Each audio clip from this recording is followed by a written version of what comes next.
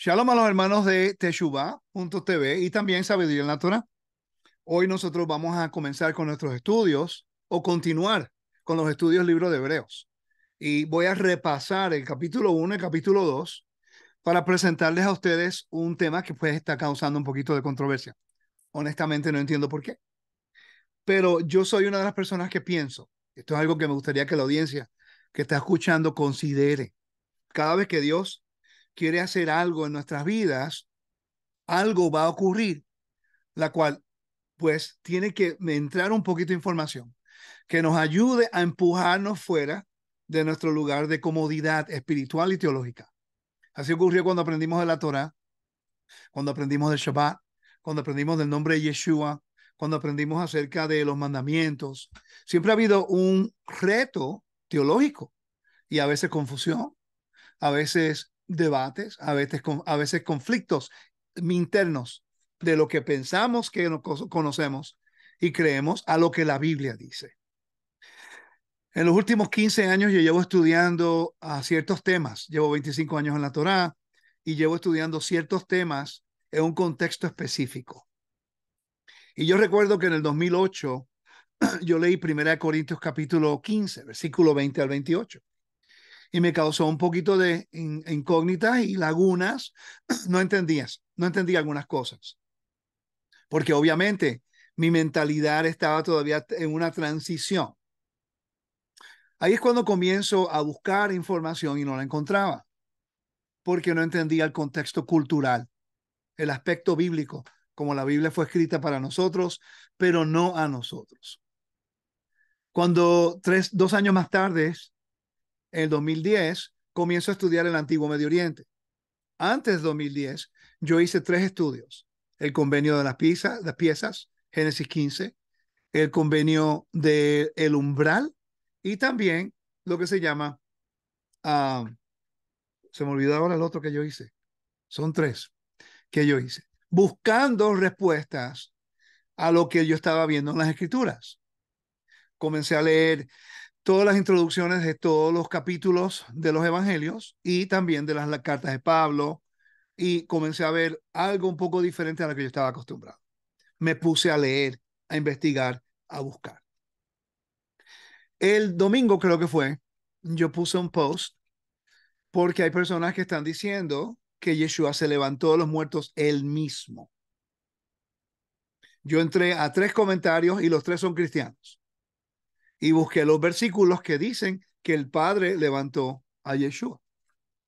Pues yo puse los versículos, nunca imaginándome que iba a traer tanta controversia que ahora me llaman a este hereje porque no pienso como algunas personas que todavía son cristianos dentro de raíces hebreas. Entonces, tengo dos opciones. Presentar la información educativamente para que usted, mi audiencia, pueda ver la información del por qué me inclino a creer lo que la Biblia dice. Pero hay otros versículos que crean controversia con lo que la Biblia está diciendo, porque están, lo dijo Yeshua, en un contexto. Y yo caí en cuenta totalmente en mis estudios preparación para el libro de Hebreos. Lo entendí. Entonces, o la segunda opción es correr, no tocar el tema, y pues inclinar la cabeza y, y decir a la audiencia, ok, perdón, estoy equivocado, sabiendo que la evidencia establece la verdad. Entonces, esto no tiene que ver nada con ego, esto no tiene que ver nada que yo quiero estar correcto, esto tiene que ver con una transición de pensamiento en la cual nosotros tenemos ahora que escoger lo que la Biblia dice, aunque lo que dice la Biblia va en contra de lo que nos enseñaron. Y yo pienso que es sabio si nosotros aprendemos a ser retados acerca de lo que creemos. Es interesante que una persona puede creer algo fuera del aspecto teológico. Y no lo digo para minimizar, no estoy diciendo para atacar, ¿ok? Por favor entiendan. Solamente un ejemplo. Pero yo conozco mucha gente. Y por cierto, conozco nombres de personas que atacaron el hecho de que yo dije que el Padre resucitó a Yeshua. Pero esa misma gente creen en lo que es tierra plana como un aspecto teológico. Y te lo dicen, si tú no crees en tierra plana, pues. Y yo digo, pues yo no entiendo. La Biblia no habla de eso. está hablando de esto acá. Solamente un ejemplo para traer un contraste. ¿okay? Hay muchos más. Y yo digo, ¿cómo podemos nosotros ayudar a la audiencia a poder entender mejor la Biblia? Porque estamos en ese proceso de, de educarnos, instruirnos. Los libros que tú ves detrás de mí no es para lujo. Los libros que tú ves detrás de mí es para yo tratar de entender. Porque yo quiero vivir de acuerdo a la voluntad del Eterno. Y todos estamos en ese mismo propósito. ¿Verdad que sí? Vamos a ponerlo en el chat. ¿Verdad que todos ustedes están con la misma intención de agradar a Dios? Y se han dado cuenta que muchas cosas que nos dijeron en el sistema religioso no se alinean con lo que estamos estudiando y lo que estamos. Ahora, le voy a hacer otra pregunta a mi audiencia que tenemos acá. ¿Cuántos de ustedes han escuchado que yo he dicho algo y al principio tu reacción a lo que yo he dicho ha sido negativo? Sean honestos, a mí no me molesta, porque a mí me ha pasado con mi maestro, que cuando yo digo algo, inmediatamente es un poquito negativo, o sea, no, no puede ser. ¿Cuántos de ustedes? Algunas veces, perfecto. Pero lo que yo admiro de la audiencia es que están dispuestos a dar la oportunidad de presentar la información. ¿Y cuántas veces usted ha reaccionado de esa forma, pero cuando estudia la información, se da cuenta que no es que yo estoy correcto, sino que la información valida nuestra posición. ¿Verdad que sí? Yo pienso que hoy es el día que debiéramos nosotros poder, por lo menos un comienzo, de entender esto bíblicamente sin tantos argumentos y no, dame esta respuesta, sí o no en Facebook. Pero es que tú no sabes lo que yo creo. Tú estás asumiendo que yo creo algo basado en tus propias uh, dogmas teológicas y lo que yo digo va en contra de lo que tú crees y ahora tú quieres que yo escoja y conteste como una persona quiere. Eso se llama madurez, perdón, inmadurez espiritual. El miedo de que podamos estar errados. Y yo he pasado y estoy pasando por eso en muchas cosas que estoy aprendiendo. Cuando estudio el templo, wow, mi mundo cambió. Entonces, vamos a hacer algo. Vamos a estudiar. Vamos a estudiarlo hoy. Vamos a presentar la información. Voy a hacer lo posible para educarnos juntamente. Necesito que usted, las 124 personas que hay aquí ahora, ¿ok? Usted lo valide. Usted va conmigo y lo valide lo que dice la Biblia. ¿Cuántos de ustedes creen que la palabra de Dios es la misma ayer, hoy para siempre? Y que Dios no cambia. Por favor, ¿cuántos de ustedes creen eso? ¿Y cuántos de nosotros se nos enseñó que lo que dice la Biblia se tiene que hacer? Ok. Entonces, vamos a entrar al estudio. Va a haber mucha información, va a haber muchos versículos. Permítanme solamente, quiero que me escuchen. No me gustaría que entraran en los debates en el chat. Necesito que me escuchen ahora mismo, escuchen la información y vamos a ver si la evidencia que voy a presentar establece la verdad. Y si lo hace, entonces ustedes tienen que continuar enseñando lo que la Biblia dice, no lo que la, gente piensa de algunas cosas. Eso se llama responsabilidad bíblica. Y eso es lo que la palabra de Eterno quiere que hagamos, que seamos verianos. ¿Ok? Comenzamos. Vamos a compartir aquí. Desde aquí en adelante voy a estar compartiendo la, la, la pantalla. ¿Ok? Vamos a comenzar con, yo preparé un un poquito de PDF, no es muy largo, pero yo quería que ustedes pudieran ver un poco acerca de, pues, de lo que yo estoy estudiando aquí. Entonces, denme un segundito acá. déjame poner esto aquí. Poner esto acá. Whoops, no. Stop sharing. Dame un segundo, disculpa, que estoy haciendo mil cosas a la vez y el mouse se me se vuelve loco acá. Ok. Vamos acá. Compartimos.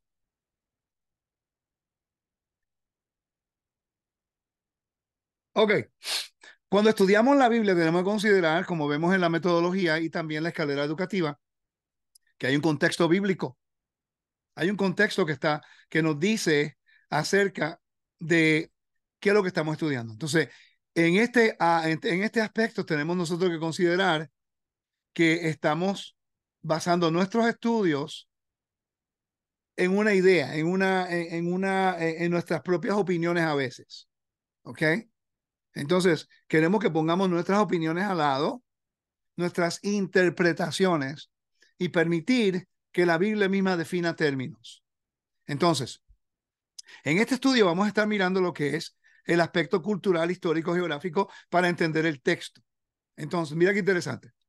La hermana Nereida compartió esto conmigo ayer y es muy, es, verdad, eh, eh, eh, es un objetivo, función y rol, rol o roles. ¿okay?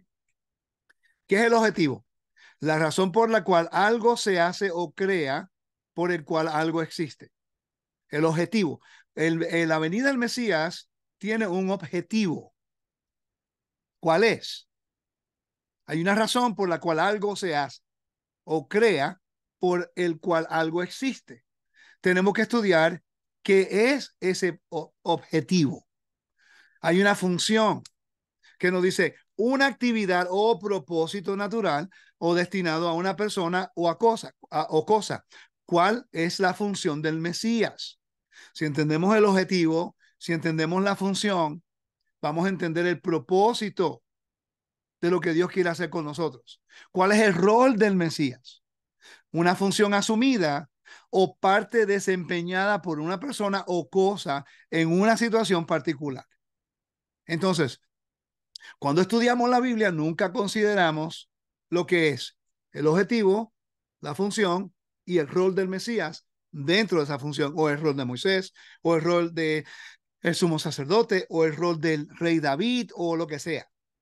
¿Cuál es el objetivo, la función y el rol?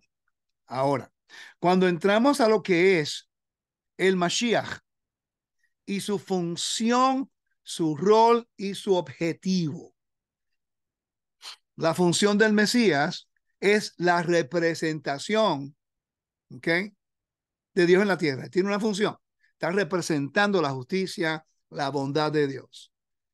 El objetivo, ¿cuál es? De traer a través de él la victoria sobre la muerte, la muerte para que Dios sea glorificado en todo. El rol del Mesías es el que voluntariamente, él se presta como lo hizo Isaac cuando fue con Abraham al altar. Isaac ya tenía 36 años, 36, 37 años. Era un hombre. La pregunta de Abraham es, wow, lo puso en el altar, pero la pregunta debiera ser, wow, Isaac estuvo dispuesto a someterse al Padre hasta que fuera hasta la muerte. Esa debiera ser la pregunta, que nunca hacemos, porque pensamos que Isaac era un niñito de dos añitos que no tenía ningún tipo de opinión, ¿no? En este caso, era un hombre que estuvo dispuesto a honrar la voluntad y la autoridad del Padre que estaba escuchando la autoridad y la voluntad del Eterno para enviar un mensaje no vamos a entrar a lo que es el mensaje, es una idea. El Mesías claramente es preexistente desde antes de la creación y vamos a leer los versículos para, para usted entender por qué yo creo eso. Pero Yeshua tenía una función, propósito y un propósito y también lo que es el rol. Objetivo, función, rol. Objetivo, función y rol. Eso es claro. Pero voy a hacer una pregunta a la audiencia que está aquí. Por favor, me gustaría que comentaran en este caso, en esta. ¿Ok? ¿Cuántos de ustedes en realidad están claros de lo que es el rol del Mesías?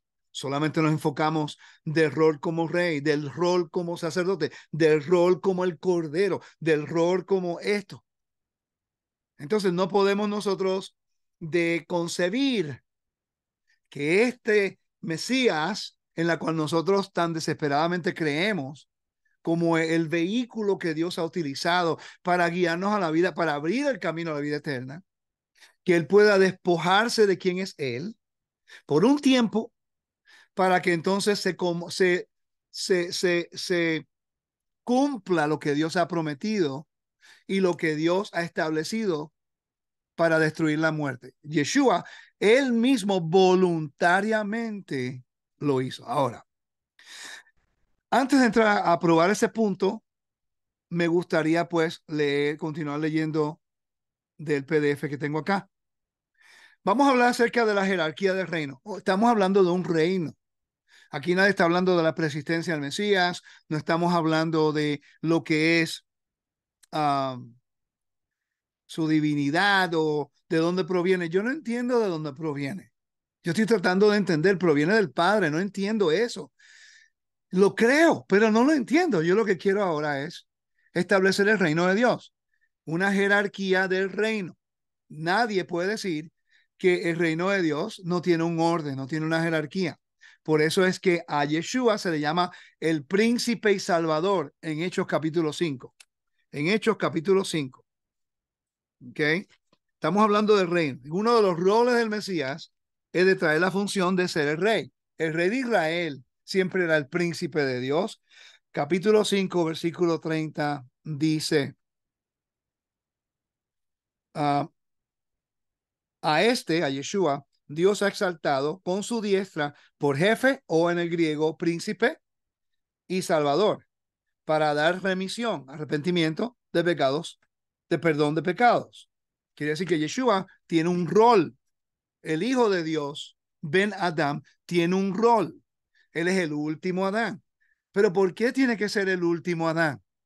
Porque el primer Adán, a través de él, entró la muerte.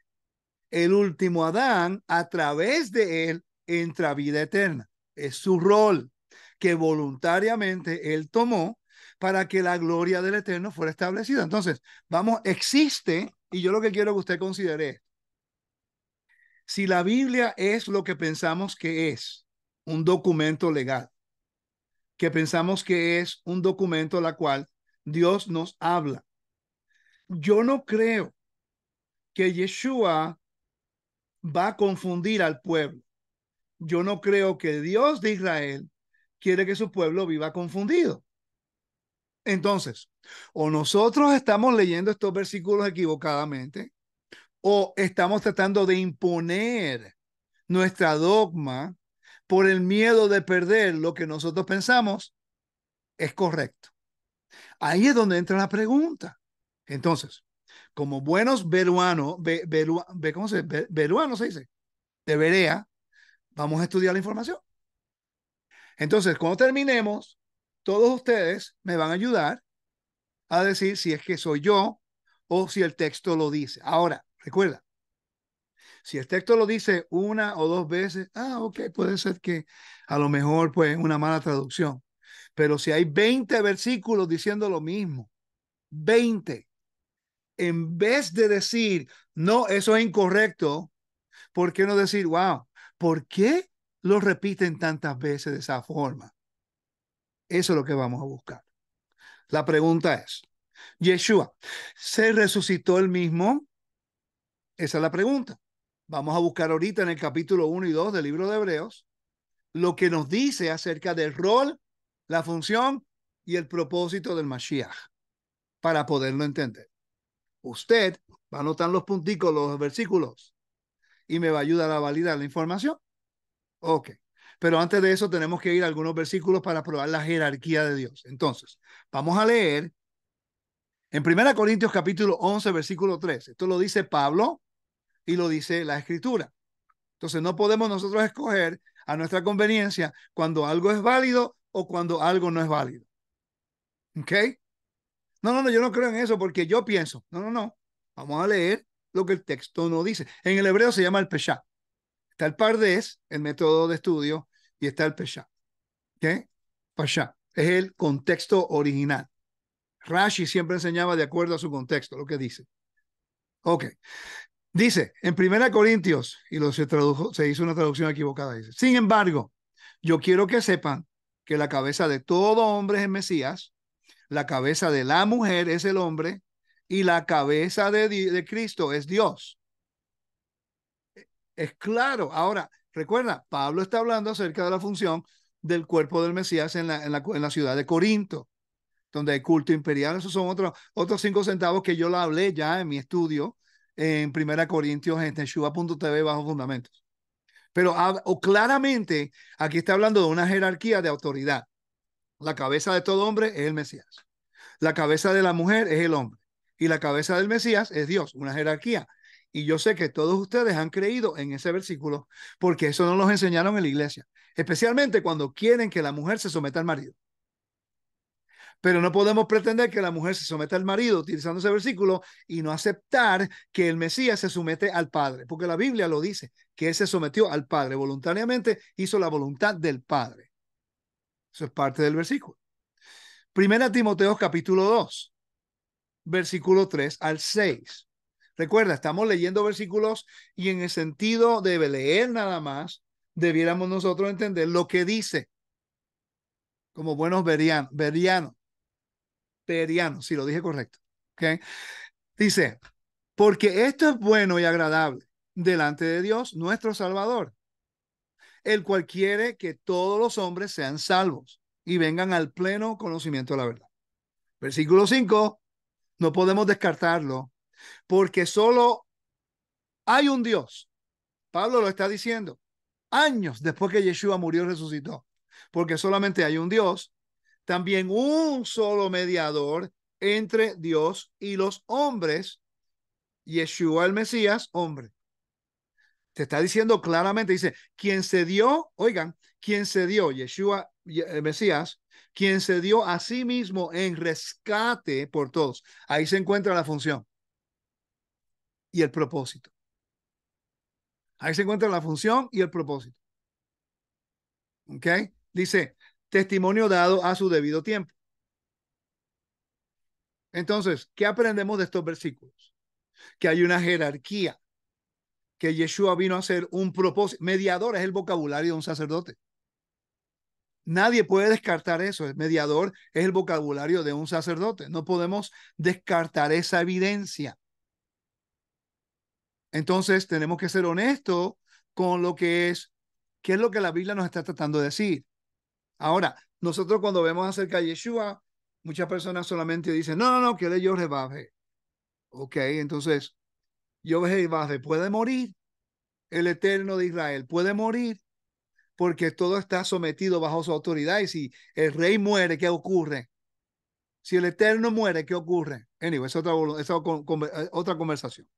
Vamos a leer 1 Corintios capítulo 15, versículo, versículo, uh, un segundito, 15, ah, versículo 20 al 28. Vamos a buscar la información. Tenemos que ser honestos con la información. Primera Corintios, capítulo 15, versículo 20 al 28. Y estos fueron los versículos que me llevó a estudiar estas cosas. Porque te voy a ser bien honesto, no lo entendía en ese tiempo. Tenía preguntas, me hacía un conflicto. Pero vamos a ser honestos con lo que estamos leyendo. Recuerda que el capítulo 15 completo tiene que ver con resurrección. Y lo dice claramente, por el cual también sois salvos si retenéis la palabra que os prediqué y no ser que hayas creído en vano. Está hablando de resurrección. Entonces dice, Ah. Dice, ahora bien, si se predica que el Mesías ha resucitado entre los muertos, ¿cómo dicen algunos entre vosotros que no hay resurrección de muertos? Y si no hay resurrección de los de muertos, entonces ni siquiera Mesías, Cristo ha resucitado. Y si el Mesías no ha resucitado, van a ese entonces nuestra predicación y van a también nuestra fe. Aún más, oigan este versículo es clave, aún más. Somos hallados testigos falsos de Dios porque hemos testificado contra, contra Dios que Él resucitó al Mesías. Ok. ¿A quién, a quién no resucitó? Si en verdad los muertos no resucitan. Es, es, interesante el contraste que él utiliza aquí.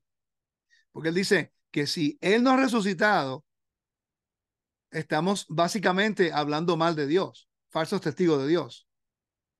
Ok, entonces vamos a leer el versículo 20 en adelante, que es lo que quería compartir con ustedes. Vamos a los versículos. Dice, más ahora, yo quiero que usted note cómo es que va a ir a Génesis para hacer el contraste con Adán, lo mismo que hace Romanos capítulo 3 al 9. ¿Ok? Y eso es otra cosa que cuando decimos, no, porque la Biblia dice que el Espíritu Santo le resucitó a Yeshua. ¿Ok? ¿Sabían ustedes que eso es trazándolo a la creación cuando Dios sopló la vida a Adán? Si tú buscas la palabra en griego y tú vas a la palabra en hebreo, es la misma, ruach. El Espíritu de Dios sopló. Dios sopló a Adán y le dio vida. Lo mismo que hizo el Eterno resucitando al Mesías. Yo no, y ahorita vamos a leer los versículos, que son muchos, y los vamos a leer todos. Okay, yo sé que si se tiene que ir, no hay problema. Pero tenemos que leerlo. Entonces dice, mas ahora el Mesías ha resucitado a los muertos, primicia de los que durmieron. ¿Okay? Porque ya que la muerte entró por un hombre, que está citando al libro de, de Génesis con Adán, y en Romanos 5, se lo dice. Por tanto, tal como el pecado entró en el mundo por un hombre y la muerte por el pecado, así también la muerte se extendió a todos los hombres porque todos pecaron. Quiere decir que la muerte es la clave de la venida al Mashiach y la función y el propósito y el rol. ¿Ok? Dice, también por un hombre vino la resurrección de los muertos. También por un hombre. Es claro que sabemos que Yeshua es divino, ¿no? Pero dice, pero también por un hombre. ¿Por qué dice por un hombre? Esto es lo que la gente no quiere entender. Por un hombre. Quiere decir que no es divino, quiere decir que no es preexistente. No, no, no, no. Lo vamos a explicar ahorita. Porque el texto lo dice. Dice, pero cada uno a su debido orden. Pongan atención. El Mesías, las primicias, primicias. Luego, los que son del Mesías en su venida. Entonces vendrá el fin. Cuando entregue, oigan, entonces vendrá el fin. Cuando entregue el reino, hay un reino al Dios y Padre. Quiere decir que hay un, una jerarquía. La jerarquía viene siendo, te voy a buscar aquí rapidito, la jerarquía viene siendo esto. Te lo voy a enseñar aquí, volvemos al texto. La jerarquía viene siendo que Dios es el soberano del universo. Y lo decimos todos los Shabbat. Bauch, Ata, Adonai Elohenu, Melech Haolam, Rey del universo. Siempre lo decimos en todas las oraciones. dice, Yeshua se convierte en el príncipe de rey de Israel, príncipe de Dios, rey de Israel, mediador y el vehículo que Dios va a utilizar para traer la salvación. Ese es el rol del Mashiach, de ser el representante, la imagen del Dios invisible, ¿ok? La representación de su gloria. Ok, para, para hablar un poquito acerca de la representación, que lo dice en Hebreos capítulo 1, 3 me gustaría que la hermana Nereida viniera al micrófono porque ella va a hablar del punto de vista cortico, punto de vista médico acerca de esto. ¿Ok? El punto de vista médico. Hermana Nereida. Sí, shalom y buenos días a todos. Eh, gracias por la oportunidad, Rico. Si me permite, quiero compartir unas láminas para que la gente pueda entender mejor lo que quiero decir. Ok. Go ahead and share. Primeramente, eh, para mostrarle algo que el Señor me ha, me ministrado, que me ha enseñado, es que Él sigue un patrón para todas las cosas. Y el cuerpo humano no es diferente cuando Él hizo la creación de los seres humanos. Sigue el mismo tavnir o patrón que Él usó en el Edén, que usó para el Mishkan y que usó para el templo. Y para que tengan una idea, Aquí vemos una célula. La célula es la unidad más simple, más básica de un, de un cuerpo.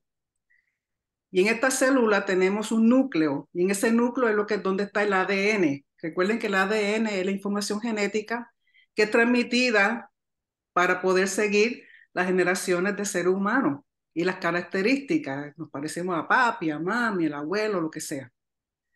Y en el núcleo está el ADN, y el resto de la célula es lo que se llama citoplasma. Y ese ADN se convierte en forma de lo que llaman cromosomas, pero si tomamos un cromosoma de eso y lo miramos bien cerquita, forma una hélice, lo que llaman la hélice del ADN. La próxima eh, lámina, déjame ver si puedo pasar aquí la otra. Disculpen. Teniendo ese concepto de la célula, y yo estoy segura que muchos han eh, alguna vez un huevito lo, lo, han frito, lo que es la, la, la, parte amarilla, lo que es el, la yema, es el núcleo donde está el ADN o toda la información genética de lo que hubiera sido un pollito, pero decidimos cocinarlo y hacer un, huevito frito. Y lo que es blanco, la clara, viene siendo el citoplasma, que era lo que habíamos visto en la otra lámina. ¿Qué sucede? Que el ADN, para poder ejercer su función, se tiene que mantener en el núcleo. De ahí no puede salir. Igualmente que el Padre es eterno y se mantiene en una dimensión de eternidad donde no está sujeto ni a tiempo, ni a materia, ni a espacio. Pero para poder ejercer su función en el resto de la célula, porque si el núcleo, el ADN, no ejerce su función, se muere y se muere la célula completa. Pero nosotros sabemos que el padre no muere. ¿okay? Pero en, en términos de biología, si el ADN o el núcleo de la célula muere, entonces no se muere toda la célula. Pero ese ADN, como dije, para poder funcionar, hacer su propósito, rol y función, está dentro del núcleo, pero no puede salir de ahí. Entonces, ¿qué hace el Señor? El ADN, como dije, que era estaba dentro del núcleo, es un cromosoma, es una hélice. Para poder funcionar esa hélice se tiene que separar, hacerse dos brazos o dos fragmentos. Y dice, el ADN nunca sale del núcleo, el padre realmente nunca puede salir de su dimensión de eternidad, porque él no tiene masa, él no está sujeto a tiempo y él no, no está sujeto a espacio. Él es. Y a la que tratamos de definirlo, de, de imaginarnos cómo él es, ya deja de ser eterno. Por lo tanto, él se mantiene en su dimensión, pero si necesita cómo va a ser redentor y salvador en, una esfera física donde hay materia, donde hay espacio, donde hay tiempo. Es increíble que nuestro ADN nos enseña cómo él hace eso. Esa hélice se separa y forma dos brazos. Y uno de esos brazos, porque el ADN no sale del núcleo, nunca se deja ver, se replica por medio de un proceso llamado replicación, donde estos brazos se separan toda la información, todo el contenido del ADN, todo el contenido, lo que es Hashem, pasa a ese brazo y forma lo que se llama un brazo complementario, complementario.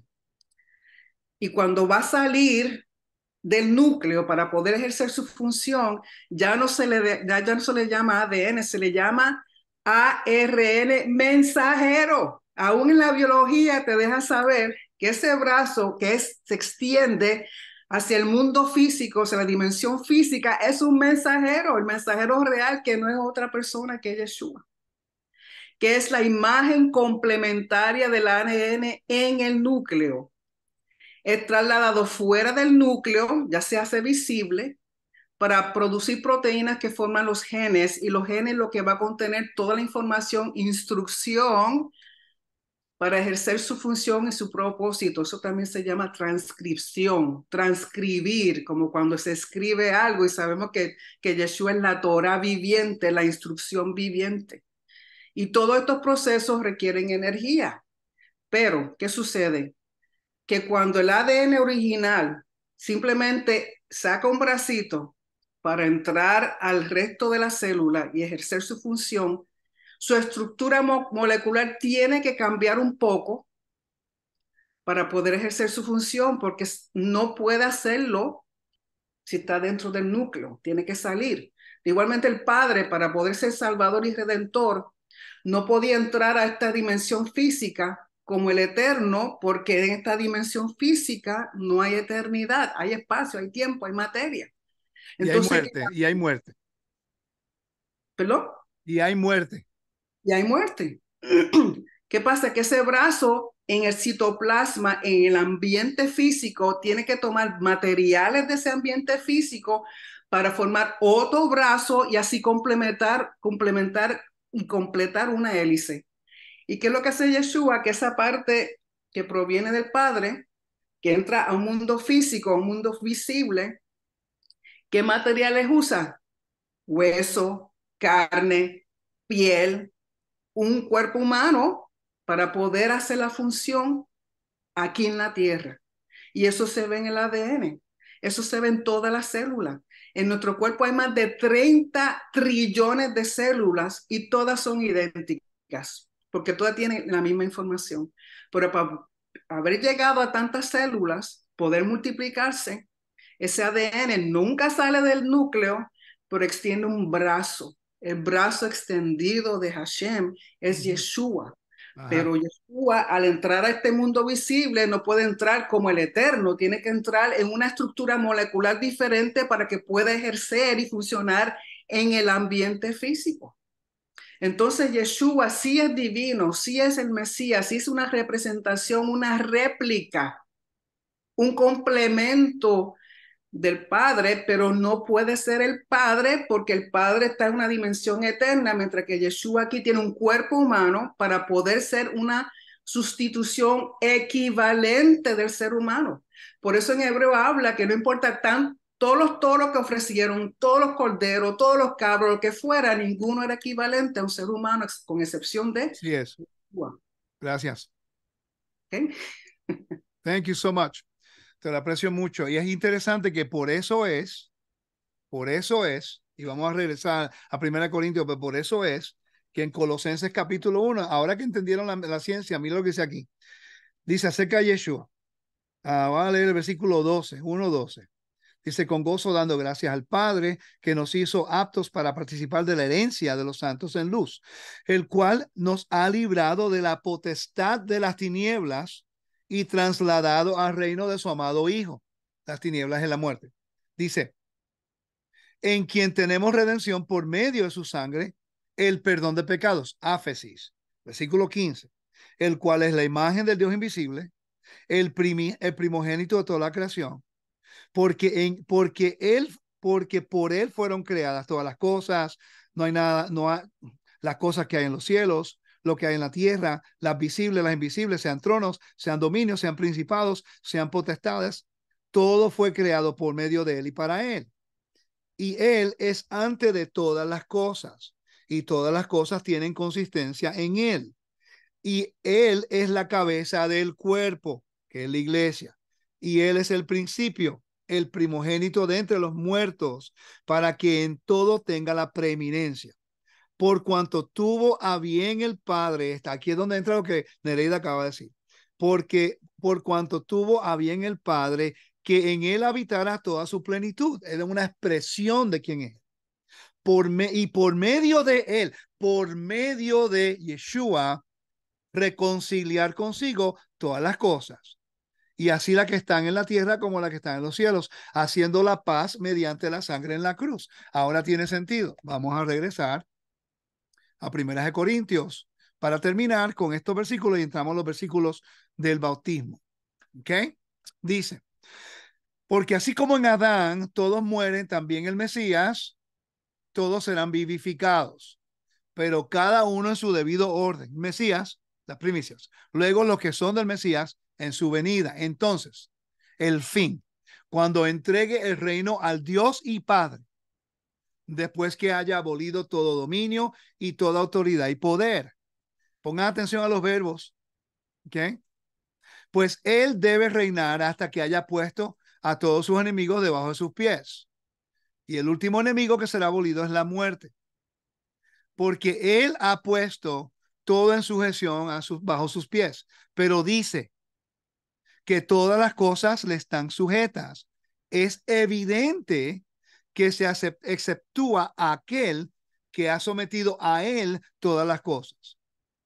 Y cuando todo haya sido sometido a él, entonces, oigan, entonces también el Hijo mismo se sujetará a aquel que sujetó a él. El Hijo mismo se sujetará a aquel. ¿Quién es aquel en este contexto? El Eterno. Que sujetó a él todas las cosas para que Dios sea todo en todos. Más claro no puede ser. Quiere decir que hay una jerarquía. La cabeza de la mujer es el hombre, la cabeza de la iglesia es el Mesías, la cabeza del Mesías es el Eterno. Lo dice la Biblia. Hay un mediador entre Dios y los hombres, Yeshua el Mesías. Hay un orden de jerarquía en Primera Corintios. ¿Ok? Entonces, ahora vamos nosotros a tomar los versículos, la cual trae la controversia. Vamos a Juan capítulo 2 Ah, perdón, perdón. ¿Por qué yo creo que Yeshua es persistente y por qué yo creo que es, proviene del Padre, la imagen del Dios invisible? ¿Ok? Porque prácticamente Yeshua no lo dijo. Dice, y habló Yeshua alzando los ojos y le dijo, Padre, ha llegado la hora, glorifica a tu Hijo para que tu Hijo te glorifique a ti. ¿Alguien puede decir que Yeshua no es el Hijo de Dios cuando él mismo lo está diciendo? Y según el poder que les has dado sobre toda carne. ¿Quién le dio el poder? El Padre, porque Yeshua lo está diciendo. De también vida eterna a todo lo que tú les has dado. Esta es la vida eterna que te conozcan a ti, el único verdadero Dios, Dios verdadero, y al que tú has enviado, la expresión, la mano derecha, su imagen, el último Adán. La Biblia lo dice de esa forma, ¿ok?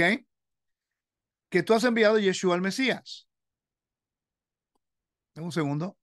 El mouse se está volviendo loco. Aquí está. ¿Ok? A ver qué dice en primera de Juan. Y sabemos que el Hijo de Dios ha venido, sabemos que el Hijo de Dios ha venido y nos ha, y nos ha dado entendimiento a fin de que conozcamos al que es verdadero. Y nosotros estamos en aquel que es verdadero, en su Hijo Yeshua. Este es el verdadero, right? Este es el verdadero Dios y la vida eterna. Lo mismo que está diciendo Juan. ¿Ok? Al verdadero eterno y a su Hijo Yeshua. Recuerda, hay una coma allí. ¿Ok? Dice, yo te he glorificado en la tierra y he llevado a cabo la obra que me encomendaste realizar, porque era la expresión de Dios. Ahora, Padre, glorifícame tú junto a ti con la gloria que tenía a tu lado antes que el mundo fuese. Familia, con todo respeto a la audiencia, debemos considerar que en todas las versiones, vamos a ponerlo en práctica, busquen sus versiones y busquen ese versículo 5, por favor en lo que voy a, los otros versículos, quiero entrar aquí. ¿Ok? ¿Qué dice en tu Biblia? Al lado tuyo, a tu lado o en tu trono. Que tenemos que ser honestos con lo que está diciendo. Esa es mi pregunta. ¿Por qué usa ese vocabulario? Y eso es por eso es que yo tengo algunas posiciones. Es porque estoy viendo que hay algo diferente de lo que me enseñaron, lo que me dijeron hay una jerarquía que nunca nos enseñaron. Entonces, ¿qué es lo que dice? Rapidito, familia, búsquenlo rapidito, ¿tienen Biblias? Debieran estar estudiando conmigo con su Biblia de todas formas, abriendo los versículos. ¿Ok? Al lado tuyo. Nosotros entendemos lo que dice el español. El español. Lo busqué en el griego y dice lo mismo, al lado tuyo, a tu lado. Esta era la oportunidad perfecta del mismo Mesías decir, en tu trono o contigo un vocabulario diferente, pero no lo usa. Entonces debemos que considerar la estructura del texto y lo que nos dice a nosotros. Entonces no me, no me empuje a una teología que va en contra de las mismas palabras del Mesías. Entonces, vamos a ir a Juan capítulo 2, en la boda de Canaán, la purificación del templo. Y aquí es donde las personas pues piensan que basado en lo que se está diciendo aquí, es la forma de Yeshua resucitarse el mismo, pero tenemos que estudiarlo en contexto. Dice, está hablando de, la paz, se acercaba la Pascua y Yeshua subió a Jerusalén, él entró en el templo a los vendedores de, y encontró a los vendedores de bueyes, ovejas, palomas, cambistas del templo haciendo un látigo de cuerdas, echó a todos fuera del templo con las ovejas y los bueyes, desparramó el dinero de los cambistas y les volcó las mesas y le dijo a los que vendían palomas, quiten esto de aquí, no hagan la casa de mi padre una casa de mercado. Sus discípulos se acordaron de esto uh, que estaba escrito, el celo por tu casa devorará. Los judíos entonces replicaron diciéndole, ¿qué signo o qué, qué señal nos muestras para obrar así? Yeshua le respondió, destruyan este santuario y en tres días lo levantaré. Los judíos le contestaron, 46 años se ha tardado en construir este santuario y tú lo vas a levantar en tres días. Pero recuerda, este es el comentario. Pero él hablaba del santuario de su cuerpo. Uh, Yeshua estaba diciendo, ¿lo dijo Yeshua o el escritor? pero él está hablando del santuario de su cuerpo. Perfecto, no hay problema con eso.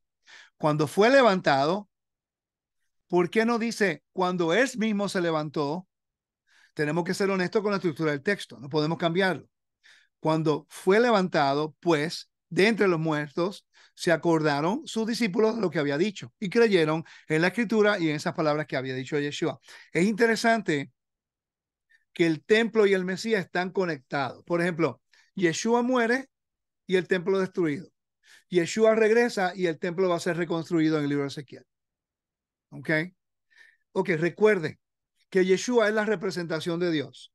Pero para que Dios pueda vencer la muerte, tiene que enviar a su hijo, en este caso voluntariamente el vino, como lo dice la Biblia, porque de, porque de tal manera amó Dios al mundo, al cosmos, que ha dado a su hijo unigénito para que todo aquel que en él crea no se pierda, más tenga vida eterna.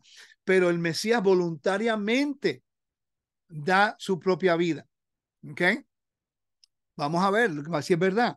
Entonces, el templo y el Mesías cuando eh, Moisés se le dijo en Éxodo capítulo 25, versículo 8, construyeme un mikdash, un tabernáculo para morar entre ustedes. Los mismos rabinos entienden que esa palabra para morar entre ustedes está implicando entre Israel. Siempre se entendió que la función de Dios era restaurar a Israel, a la humanidad, para que entonces su espíritu pudiera morar dentro para que nosotros fuéramos un templo de Dios. Eso siempre se entendió. El templo es el microcosmo del plan de Dios, como Él va a restaurar la vida eterna, su jardín y la humanidad a entrar aquí. Pero ¿cómo puede ocurrir? Porque Adán cayó de lo que era su, él fue creado para vivir para siempre. Adán fue creado para vivir para siempre. Él vino a la tierra, Dios sopló su espíritu, lo levantó de los muertos y lo puso en su jardín. Cuando él sale del jardín, se expone a lo que es la muerte por el pecado. La consecuencia del pecado es muerte. Yeshua viene del, ámbito de la vida, ¿ok? Donde no hay muerte, está dispuesto voluntariamente a venir a la tierra y lo dice, ¿ok? Para que entonces a través de él el Eterno pueda restaurar a la humanidad y regresar a su espacio sagrado. Ok, ¿cómo podemos entender esto? Vamos nosotros a el otro libro de Juan. El otro libro de Juan que habla acerca de esto. El otro libro, perdón. El otro capítulo en Juan. Capítulo 2. Capítulo 2 habla acerca de esto. Perdón, el 10. Vamos al capítulo 10. Estos son los dos ejemplos que utilizan para decir que Yeshua se resucitó el mismo. Entonces vamos a estudiarlo. Dice, está hablando del buen pastor, versículo 11 en adelante. Yo soy el buen pastor. El buen pastor es una expresión idiomática acerca de lo que es un rey, un buen rey. Okay, así como David fue un rey, un pastor, pues Yeshua es el buen pastor. Okay? Dios, pastor de su pueblo, debía darle a los tiempos mesiánicos un pastor elegido por él. Ezequiel lo dice. Yeshua, al declararse el buen pastor, eh, pastor plantea una reivindicación mesiánica, que porque habían profecías acerca de eso en Ezequiel 34. El buen pastor da su vida por las ovejas, pero el asalariado no es pastor, a quien no pertenecen las ovejas. Ve venir al lobo, abandona las ovejas y huye. Y el lobo hace presa de ellas y la dispersa porque es asalariado y no le importa nada las ovejas. Él dice, yo soy el buen pastor y conozco mis ovejas y las mías me conocen a mí.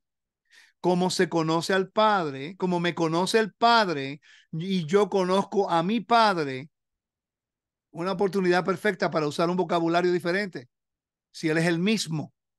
No entiendo por qué Yeshua nunca usó el vocabulario directo. ¿Por qué utiliza esta forma? Y dice, y doy mi vida por las ovejas. También tengo otras ovejas que no son de este redil. También a esas las tengo que conducir.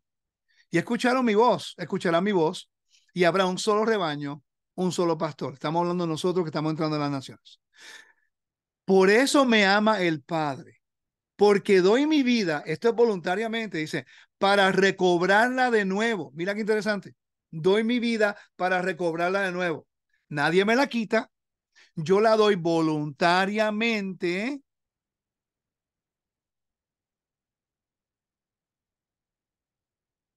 Mira qué interesante. Cristo tiene en sí mismo la vida que recibe del Padre. ¿Ok? Entonces tenemos que considerar que hay algo más aquí de lo que la gente está hablando.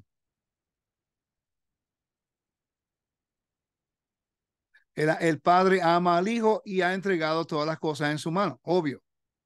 ¿Ok? Pero el mismo Mesías nos dice que Él le voluntariamente dice, tengo poder para darla y el poder para recobrar, recobrarla de nuevo. Pero nos citan esta parte del versículo, esa es la orden que es recibido de mi Padre. ¿Por qué no citan esta parte?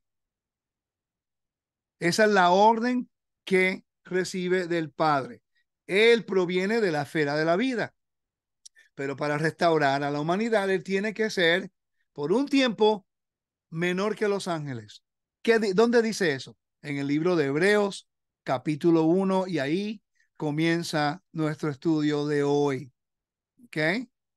Vamos a ir acá al libro de Hebreos capítulo 1 y vamos a leer lo que dice.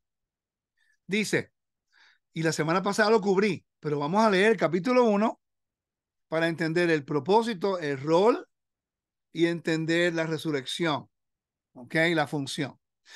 Dice, muchas veces y de muchas maneras habló a Dios en el pasado a nuestros padres por medio de los profetas. En, el, en estos últimos tiempos nos ha hablado por medio del, del Hijo, por medio del Hijo a quien instituyó heredero de todo, por quien también hizo el universo, el cual siendo resplandor, mira, lo que dijo la hermana Nereida, gracias hermana Nereida, de verdad te lo aprecio mucho, lo que dijo la hermana Nereida es lo que dice Colosenses capítulo 1 y lo que dice también en, en Hebreos capítulo 1 y capítulo 2. Vamos a estudiarlo detalladamente.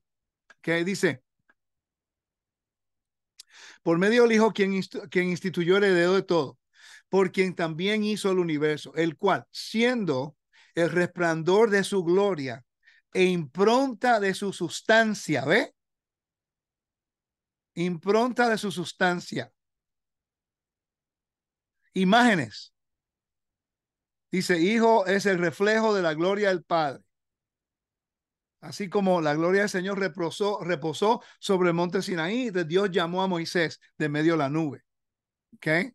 Entonces, y el que sostiene todo con su palabra poderosa, llevada a cabo la purificación de los pecados, se sentó a la diestra de la majestad en las alturas. Eso es un versículo de entronamiento. A la diestra del templo se sentaba el rey de Israel. El rey de la creación en el templo y el rey de Israel a la mano derecha en Jerusalén. Eso es lo que representaba entronamiento o lo que se llama esperando hasta que su reino se estableciera. Pero la palabra resplandor de su gloria. ¿Ok? Vamos a buscarlo aquí en inglés. Ya yo lo he leído mil veces, pero quiero buscarlo aquí en inglés para que usted lo vea conmigo de nuevo. La evidencia establece la verdad. Muchas personas, mire, tristemente muchas personas argumentan porque están defendiendo su teología. Entonces, debemos ser un poquito más prudentes y buscar la información primero y adaptarnos al contexto. Dice, who is the radiance of his glory and the representations of his essence. Lo que dice aquí es el resplandor y la impronta de su sustancia. Si buscamos esto en la Biblia de las Américas, el mismo capítulo de Hebreos, a lo mejor lee un poco diferente, pero vamos a buscarlo allá. ¿Ok?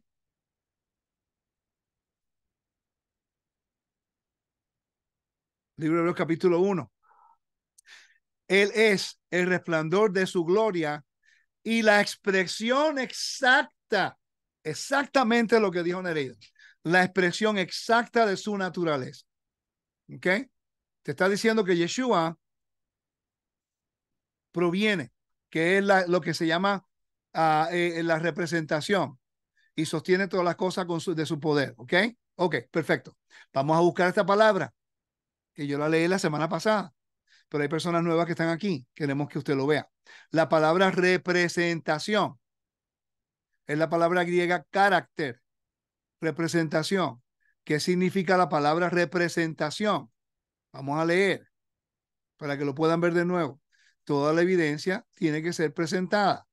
Y así podemos creer y dejamos el, el deja, dejamos lo que se llama el, el, el, el, argumento, el debate y, y, buscamos la manera de entender mejor. La palabra carácter significa impresión, impresión, sello, reproducción. Exactamente lo que dijo la hermana utilizando la ciencia. Representación, apariencia externa, forma. Si seguimos leyendo un poco más, aquí en, este párrafo, nos dice un poco más acerca de esto. Dice, carácter se encuentra solo una vez en el Nuevo Testamento. Dice, Cristo es el carácter, el sello mismo de su naturaleza. ¿Ok? La naturaleza de Dios. El sello de Dios. Es lo que cuando tú ves una moneda, tú ves la, la, la, eh, la, la imagen de una persona. Esa persona no es ese sello, esa moneda no es la persona, es la representación de lo que representaba esa persona. Eso es lo que vino a hacer Yeshua. Representa la justicia, la bondad, la misericordia, la, el honor. Todo tiene que ver con honor y vergüenza. Dice, es decir, aquel en quien Dios ha estampado o impreso su ser pues entonces no es el mismo, porque el mismo griego lo está diciendo. Esto significa que el uso que hace en el Nuevo Testamento está totalmente distinto a nuestro concepto de lo que es carácter. Mira lo que dice abajo. En Hebreos 5.8 declara que Yeshua aprendió la obediencia por medio de lo que padeció. No se, no se piensa en nuestros conceptos de formación del carácter. Probablemente se relaciona con la obediencia del Hijo al Padre probada por la tentación. Y podemos seguir leyendo de todas esas cosas. Pero entendemos ahora mismo que la Biblia claramente nos está diciendo quién es Yeshua y lo que es su, su esencia. Entonces, el libro de Hebreos te está diciendo ahora mismo quién es el Mesías. ¿De dónde proviene? Mira, Él es el resplandor de la gloria de Dios. Te lo está diciendo. Él proviene, la extensión, el sello de Dios, como dijo la hermana Nereida, utilizando ciencia. Ahora mira la forma que el libro de Hebreos te va a hablar acerca de la función y el rol del Mesías. Ya te dijo quién es. Dice, siendo mucho menor, mucho mejor que los ángeles. El libro, es interesante que el libro de Daniel, capítulo 12, y hay una teología que yo no estoy de acuerdo para que estemos claros, ¿ok? Vamos a Daniel capítulo 12. Entonces dice, en aquel tiempo se levantará Miguel, el gran príncipe que está de parte de los hijos de tu pueblo, y será tiempo de angustia, cual nunca hubo eh, hasta entonces desde que existen las naciones. Pero en aquel tiempo serán salvados todos los de tu pueblo y se hallen inscritos en el libro y muchos de los que duermen en el polvo de la tierra serán despertados, unos para vida eterna y otros para vergüenza y confusión perpetua. ¿Ok? Entonces, muchas personas dicen que es Miguel el Mesías. No, familia, ¿qué significa Miguel? Yo hablé con unas personas y estábamos hablando acerca de eso. Es la, lo que representa el nombre, la función del nombre, la imagen de Dios o el regalo de Dios. Mira qué interesante. ¿Cuántos de ustedes nunca se les ocurrió mirar lo que representa el nombre Miguel? Hay una teología que dice que, que es Miguel. Yo no creo eso. Yo entendiendo ahora el hebreo, la función es que es uno que es imagen de Dios, porque eso es lo que representa el nombre, imagen de Dios. Eh, falta el contexto y la forma que la forma la Biblia utiliza eh, eh, las palabras crean unas teologías diferentes. Por eso es que aquí en Hebreos se está hablando de ángeles. Mira qué interesante. Obviamente, este versículo en el libro de Hebreos, capítulo 1, el libro de Hebreos, capítulo 1, versículo 4 ah, dice, con una superioridad sobre los ángeles, tanto mayor cuanto más excelente que el nombre que ha heredado. Pues obviamente no puede ser Miguel. porque este es mayor que los ángeles. Entonces Miguel ahora tiene que representar, representa quién es a la imagen de Dios, image of God. ¿Ok? Alguien que busque lo que representa la palabra Miguel, a, a Suaste, si lo puedes poner en el chat. ¿Qué representa la palabra Miguel? ¿Cuál es el significado? ¿Ok? Entonces, mira lo que dice. Vamos a ir a esta Biblia porque me gusta más cómo lee esta otra Biblia. Ah, yo, yo la cerré. Ah, ok, no importa. Dice, voy a buscar la otra Biblia mejor. Um, deme un segundo, porque este es un estudio hoy. No hay prisa y vamos a seguir buscando. ¿Ok? Uh, Bibles. Biblia.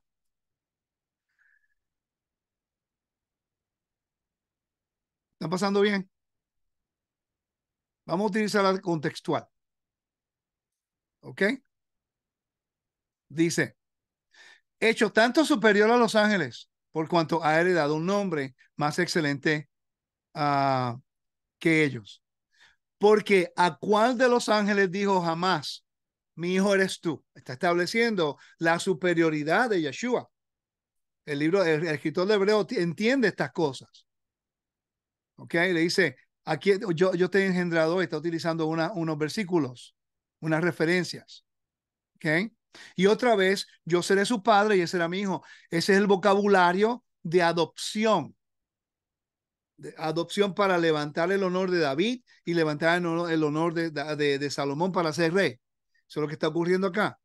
Está dando el vocabulario para establecer que es Yeshua el que Dios ha escogido para hacer un rol, para traer el propósito de Dios y para establecer la función de lo de, lo, de su venida. Otra vez, cuando introduce al primogénito en el mundo, dice, adórenlo a todos los ángeles de Dios. Ciertamente de los ángeles dice, el que hace sus ángeles espíritus y sus ministros llama de fuego. Los ángeles no mueren, por lo que yo sepa, no mueren, están fuera de este tiempo. ¿Ok? Pero Yeshua no es como esos ángeles. La Biblia te lo dice. ¿Ok? Es el mensajero de la presencia. En el judaísmo también se explica eso, que está el mensajero de la presencia. ¿Ok? Hasta el momento, familia, ¿tiene sentido lo que estamos hablando? Por favor, denme un sí o no. Pues tengo una idea. No se tarde mucho, tengo que continuar. Ok, perfecto. Entonces, dice, con respecto al Hijo, con respecto al Hijo, recuérdate, este Yeshua ahora, con respecto al Hijo, tu trono, oh Dios, es por los siglos de los siglos que está citando aquí unos versículos. Necesito la otra Biblia porque esta, um, denme un segundo, voy a buscar otra acá. Jerusalén, esta. Dice, pero tú, pero, pero del Hijo, tu trono, oh Elohim, por los siglos de los siglos, y el cetro de tu realeza, está hablando de lo que es su autoridad como rey, cetro de equidad, amaste la justicia, aborreciste la iniquidad. Por eso te ungió, oh Dios, por eso te, ungió, oh Dios, tu Dios con oleo de alegría entre tus compañeros. Y también tú al comienzo, oh Señor, pusiste los cimientos de la tierra y obra de tus manos los, son, los, los cielos. Ellos permanecerán, mas tú permaneces. Todo lo que, todos como un vestido envejecerán. Como un manto lo enrollarás como un vestido y serás cambiado, pero tú eres el mismo y tus años no tendrán fin. Y, dime la pregunta que hace. ¿Y a qué ángel dijo alguna vez, siéntate a, a, mi diestra hasta que ponga a tus enemigos por estrado de tus pies? Está citando Primera Corintios, está citando Salmo 2.7, está citando un montón de versículos allí. Es que no son todos ellos espíritus servidores con la misión de asistir a los que han de heredar la salvación. Está hablando de la misión de los ángeles, te lo dice. Ahora el capítulo 2, pongan atención a esto importante. Por tanto, es preciso que prestemos mayor atención a lo que hemos oído para que no nos extraviemos. Pues si la palabra promulgada por medio de ángeles, ajá, ¿qué? Estuvo firme. Y lo dice otro versículo, Hechos 7:53, vosotros que recibisteis la ley por disposición de ángeles y sin embargo no la guardáis. Eso es un vocabulario que está utilizando. Dice que toda transgresión y desobediencia recibió justa retribución. ¿Cómo saldremos absueltos nosotros si descuidamos tan grande salvación? La cual ser a ser anunciada por el Señor, él no fue con él eh, y nos fue luego confirmada por quienes la oyeron, testificando Dios con signos y prodigios, testificando también Dios con signos y prodigios, con toda suerte de milagros y dones del Espíritu Santo repartidos según su voluntad. Entonces, en efecto, Dios nos sometió, perdón, Dios no sometió a los ángeles del mundo venidero del cual estamos hablando, pues atestiguó alguien en algún lugar, quién es el hombre para que te acuerdes de él, o el hijo de hombre para que te dé, te, uh, te preocupes. Lo hiciste, oigan aquí, está hablando de Yeshua ahora, lo hiciste por un poco, por un poco tiempo. En algunas, necesito que busquen todas sus traducciones, por favor. Voy a buscar otra acá. Hebreos capítulo 1, capítulo 2.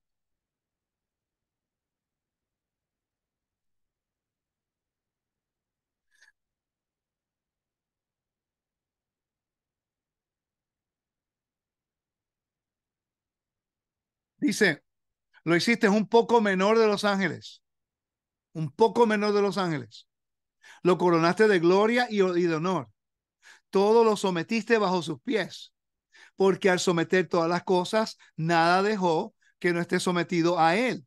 Ahora, sin embargo, no vemos todavía las cosas sometidas a él, pero vemos a aquel que fue hecho un poco menor que los ángeles, a Yeshua, coronado de gloria y honra a causa del padecimiento de la muerte, para que por la gracia de Dios gustara la muerte por todos. ¿Ok? ¿Qué quiere decir esto? Aquí es donde entra a nosotros el conflicto. Porque podía Adán entra la muerte, por Adán entra la muerte. ¿Ok? Yeshua se hizo poco voluntariamente, porque lo dice él. Él lo dijo en Juan. Voluntariamente dio su vida por las ovejas. ¿Ok? Él estuvo dispuesto a despojarse de todo poder y honor que tenía en el cielo para traer el plan de Dios, el rol de Dios, era de restaurar la función de la tierra, que se recobrara de nuevo como un espacio sagrado, con el propósito de que eventualmente Dios mismo pudiera morar en, el, en la tierra porque toda la tierra le pertenece a él. Apocalipsis capítulo 21 y capítulo 22.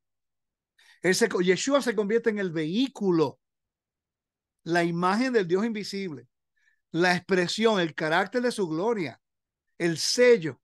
Él trajo todo el plan de salvación.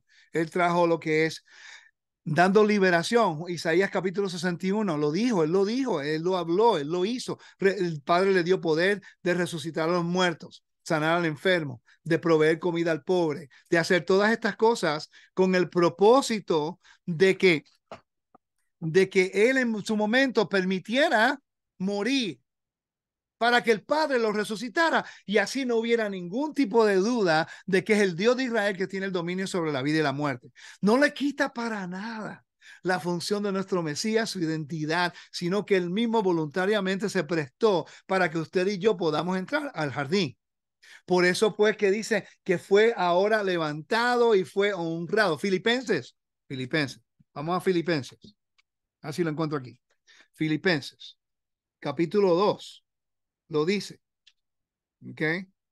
Cuando entendemos esto, en Filipenses capítulo 2, dice la humillación y exaltación del Mesías. Tenía, tenía que ser por la muerte, era vergüenza.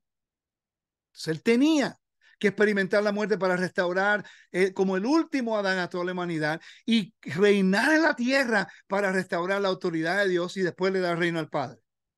¿Ok? Dice, por tanto, si hay, algo, si hay alguna exhortación en Mesías, si, alguien, si algún consuelo de amor, si alguna comunión del Espíritu, si algún efecto extrañable y compasivo, completad mi gozo siendo de un mismo sentir, teniendo el mismo amor unánimes, sintiendo una misma cosa. No hagáis por rivalidad o por vanagloria, antes bien en humildad, estimado cada uno a los demás como superiores a sí mismo. Vamos a seguir. Dice, Voy a leer el versículo 6. El cual, siendo en forma de Dios, en forma de, en forma de. ¿Ok? En forma de. Vamos a buscar aquí rapidito. Deme un segundo porque mi computadora a veces trabaja bien y a veces no. ¿Ok? Así que tengo que compartir aquí porque quiero ver ese versículo ahora directamente en el griego, es lo que dice. ¿Ok? Filipenses. Voy a buscar en inglés para verlo mejor. Espero que se queden conmigo todo el tiempo. Ahorita vamos a leer los versículos que dice que Yeshua fue resucitado. Estoy estableciendo la primicia del por qué Yeshua estuvo dispuesto voluntariamente a dar su vida. Esto es importante. Si no cubrimos esta parte, lo demás no tiene sentido. Va a haber un argumento aquí para allá, quién está correcto e incorrecto, cuando en realidad estamos buscando, tratando de buscar la información para aprender, para entender, para poder manejar todo esto. ¿Ok?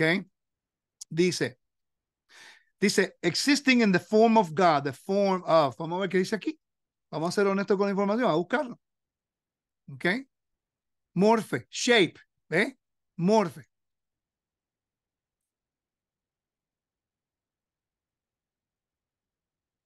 Ok. Lo mismo que dijo la hermana Nereida. ¿Ok? No me trabaja nada ahora. Vamos a ver aquí, dame un segundo. Ups. Ok. Muevo esto. Dice, morfe, forma, aspecto exterior, figura, tener la misma forma, similar en forma o apariencia. Eso se alinea perfectamente con lo que dijimos anteriormente. ¿Ok? ¿Cómo se usa esto en la Biblia? Este comentario tiene cómo se usa en, en, el, en el mundo antiguo y también cómo se usa en la Biblia. Quiero, usar, quiero ser honesto para ver cómo se usaba en el, ámbito también. Seguro, bien interesante. Morfe, Ahora aquí podemos entender por qué Yeshua está conectando el templo con él mismo. Dice, morfe, aparente, aparece raramente en las traducciones griegas del Antiguo Testamento. En total aparece nueve veces para varias palabras hebreas o arameas. Temuná, en Éxodo, en Job capítulo 4, 16. Tafnid, que es un patrón, en Isaías 44, 13. Salem, que como, como imagen. ¿Ok? Entonces Nabucodonosor se llenó de furor, de mudó a, qué ve, como una imagen. Entonces, en, el libro de, en el libro de Hebreos nos está diciendo, uh, yo la estaba leyendo aquí, decía, dice, en la forma de Dios no consideró al ser igual a Dios como cosa a que aferrarse, sino que se despojó a sí mismo, tomando forma de ser siervo, hecho semejante a los hombres, y hallado en su porte exterior como hombre, se humilló a sí mismo al hacerse obediente hasta la muerte y la muerte de cruz, por lo cual, por lo cual Dios, Dios también lo exaltó hasta lo sumo. Dios lo exaltó hasta lo sumo. ¿Ok? Estoy buscando. Aquí está lo sumo. Y le otorgó el nombre que está sobre todo nombre. Para que en el nombre de Yeshua se doble toda rodilla y todos los que están en los cielos, en la tierra y debajo de la tierra. Y toda lengua confiese que Yeshua es Adón. ¿Ok? Para que la gloria, para gloria de Dios Padre. Entonces, lo que venimos hablando es que la resurrección del Mesías tiene una función, un propósito y un rol. El Mesías vino con el propósito de que de restaurar la tierra, al espacio sagrado de Dios, donde la muerte iba a ser destruida. Entonces, la función es restaurar el espacio sagrado. ¿Sí? Función, propósito y rol. El rol, ¿qué rol va a ser? El rol va a ser como el mediador, el intermediario, la presencia de Dios en la tierra o la esencia de Dios en la tierra, el mensaje de justicia y bondad, liberación. Él muere y cuando Dios lo resucita, entonces Dios es honrado, su honor, su nombre es establecido de nuevo como el único soberano, el que tiene la vida y la muerte, y el Padre restaura el honor de su Hijo. Por todo lo que él hizo para restaurar el honor del Padre. Por eso es que Juan capítulo 17, cuando él dice, honrame contigo con la gloria que tuve antes que el mundo fuera, que es lo, que, lo próximo que sigue en Juan 17. Por eso él dijo, si me ves a mí, ves al Padre, porque él es la imagen del Dios invisible. ok, dice, Juan capítulo 17, versículo 6. Dice, he manifestado tu nombre a los hombres que el mundo me diste. Eran tuyos, tú me lo diste y han guardado tu palabra. Y ahora han conocido todas las cosas que me has dado y proceden de ti. Porque les he dado las palabras que me diste y ellos las recibieron. Y, ahora, y han conocido verdaderamente que salí de ti, que salí de ti. Y que han creído que tú me enviaste. Ok. ¿Están siguiéndome? Ayúdenme aquí, familia. ¿Están conmigo? Pongan sí o no, ayúdenme. Hasta el momento, ¿estamos bien? Ok, entonces, vamos a leer los versículos ahora. A ver quién resucitó a Yeshua. A ver si la Biblia es consistente. ¿Ok? Vamos a permitir que la evidencia establezca la verdad. No la teología, no la teoría, lo que uno piense. Vamos a buscar aquí. Voy a leer de este comentario que se llama el Collins Treasury, Treasurers, Tesoros, Tesoros of the Bible. Eh, ellos tienen comentario, compendio. Lo, estoy utilizando esto porque proviene de un recurso que todos los educadores entienden. Que aquí te está citando que Dios resucitó a Yeshua. ¿Ok? Y te da los versículos. Vamos a leerlos todos. Dice, Dios resucitó al Mesías. Ahora sabemos la función, el propósito y el rol. La Biblia dice que Yeshua mismo voluntariamente lo hizo porque el mandamiento que le dio el Padre. Para el mandamiento le dice, tú vas a hacer eso y él lo hizo. ¿Ok? Él honró al Padre hasta la muerte y el Padre lo resucitó. Yo no creo que eso debe ser ningún tipo de conflicto. Pero vamos a leer los versículos. Entonces dice, Dios resucita Raisten los resucita a los muertos. ¿Ok? Vamos a seguir por aquí y vamos a leer versículos. Dios los resucitó entre los muertos. ¿Dónde dice eso? Hechos capítulo 2, versículo 24. A quien Dios resucitó poniendo fin a la agonía de la muerte, puesto que no era posible que él quedara bajo el dominio de ella. ¿Ok? No, no voy a leer todos los versículos anteriores me gusta leer el capítulo entero, pero honestamente no vamos a terminar si hacemos eso. Hechos 2.24. Usted tiene que validar eso. Ok, vamos al 23. A este entregado por el plan predeterminado, el plan, el tafnit y el previo conocimiento de Dios, clavasteis en una cruz por menos de impíos y lo matasteis. A quien Dios resucitó. ¿Ok? Ok, dice, poniendo fin a la agonía de la muerte, puesto que no era posible que él quedara bajo el dominio de ella. esa es la función. Porque todavía no habían entendido la escritura que Yeshua debía resucitar de entre los muertos, en Juan capítulo 29. ¿Ok? Ok, vamos a regresar acá. Próximo versículo venir siendo Hechos capítulo 3, versículo 15. Hechos 3.15. Y vamos a estar un ratito aquí, lo voy a leer todo. Ahora que establecimos esto, tenemos que leerlo. Dice, y disteis muerte al autor de la vida, al que Dios resucitó de los muertos, de lo cual nosotros somos testigos.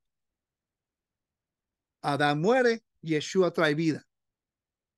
Pero para que Adán viene de la vida y va a la muerte, Yeshua viene de, eh, eh, entra de la muerte a la vida. ¿Ok? Hechos 4.10 dice, sabed de todos vosotros y todo el pueblo de Israel, que en el nombre de Yeshua, el Mesías, el Nazareno, a quien vosotros crucificasteis y a quien Dios resucitó los muertos, de entre los muertos, por él, este hombre se halla aquí sano delante de vosotros. En Hechos capítulo 4, versículo 10, uno de los milagros que ocurrió después de la resurrección.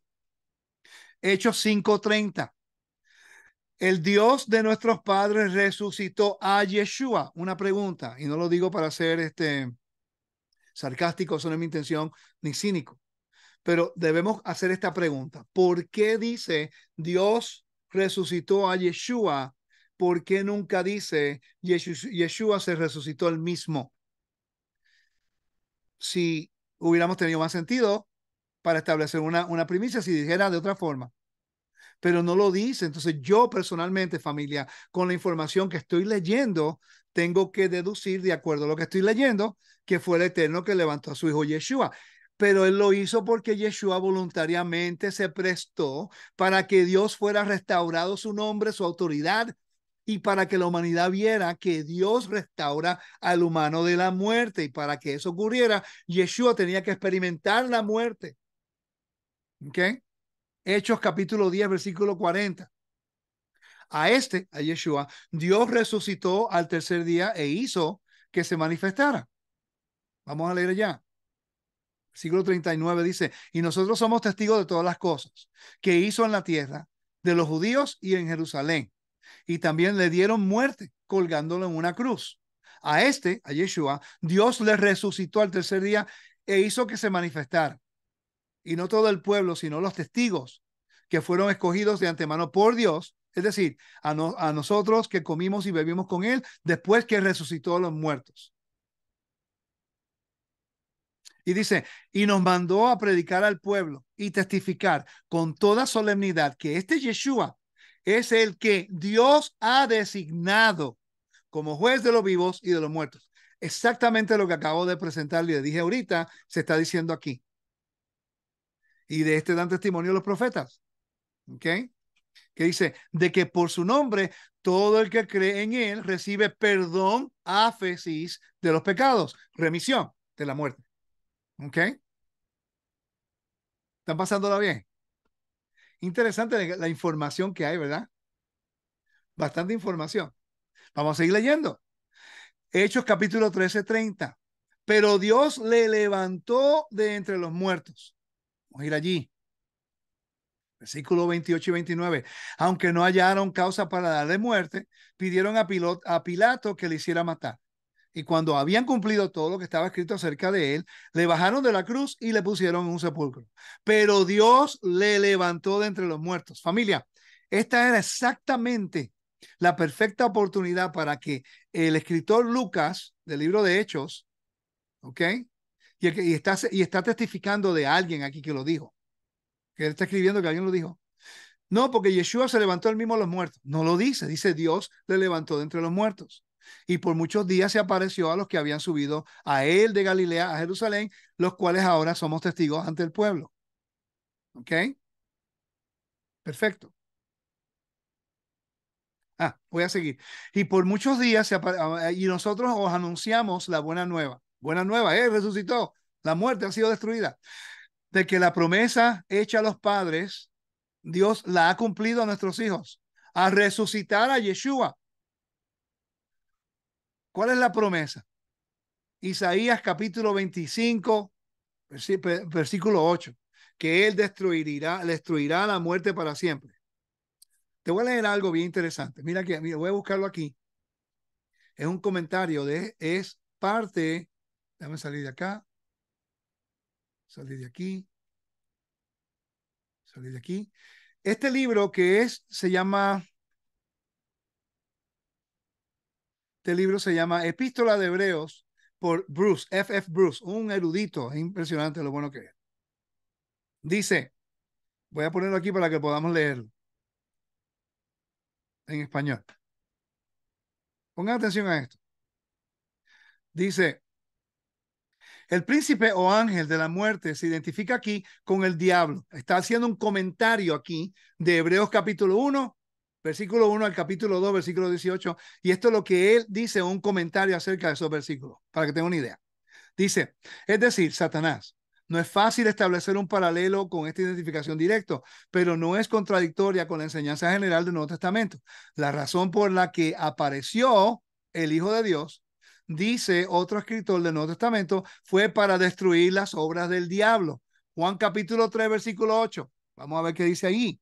Juan capítulo 3, primera de Juan, capítulo 3, versículo 8 dice, el que practica el pecado es del diablo, porque el diablo ha pasado, ha pecado desde el principio. El Hijo de Dios se manifestó con este propósito para destruir las obras del diablo, que guía la muerte.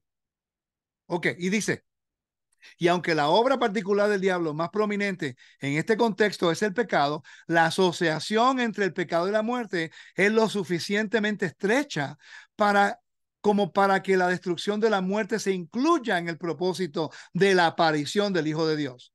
Nuestro autor, con toda probabilidad, perteneció al círculo del que salió del libro de la sabiduría que fue hecho anterior, de Wisdom, a un libro específico. Ahora, quiero leerte algo interesante. Usted ve este numerito que está aquí, 77, 78, son referencias. 79, son referencias. Aquí te está dando una referencia a 1 Corintios 15, 26, que nosotros hablamos acerca de eso. Pero el 77, él está citando un, una, una, una, un midrash rabínico compuesto en la Edad Media. ¿Okay? Ya esto es judaísmo. Mira lo que dice.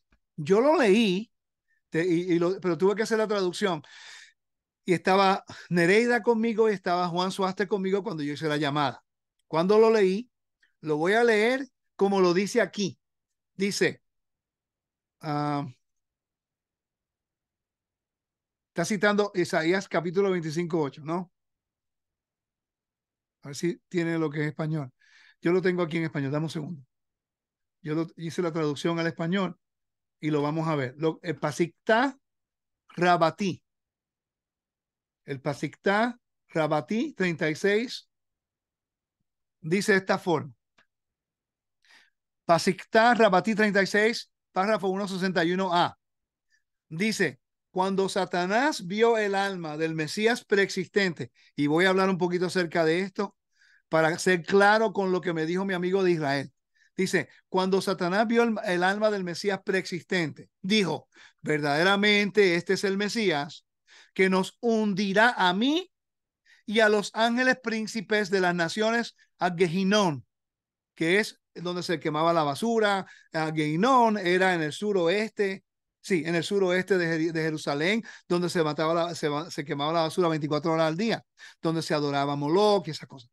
Y dice, como está escrito, devorará la muerte para siempre, citando Isaías 25.8. Yo, lo que yo hice, yo llamé a uno de mis grandes amigos que vive en Jerusalén. Se llama Joel Halevi. Él es un, él va a la Universidad Haifa, él eh, trabajó con los rollos del Qumran. Yo lo conozco hace 20 años, él habla hebreo, habla arameo, y, y yo le dije, ¿me puedes validar y verificar lo que dicen? Cefaria aparece aquí pero está solamente en hebreo, sin los Nikud.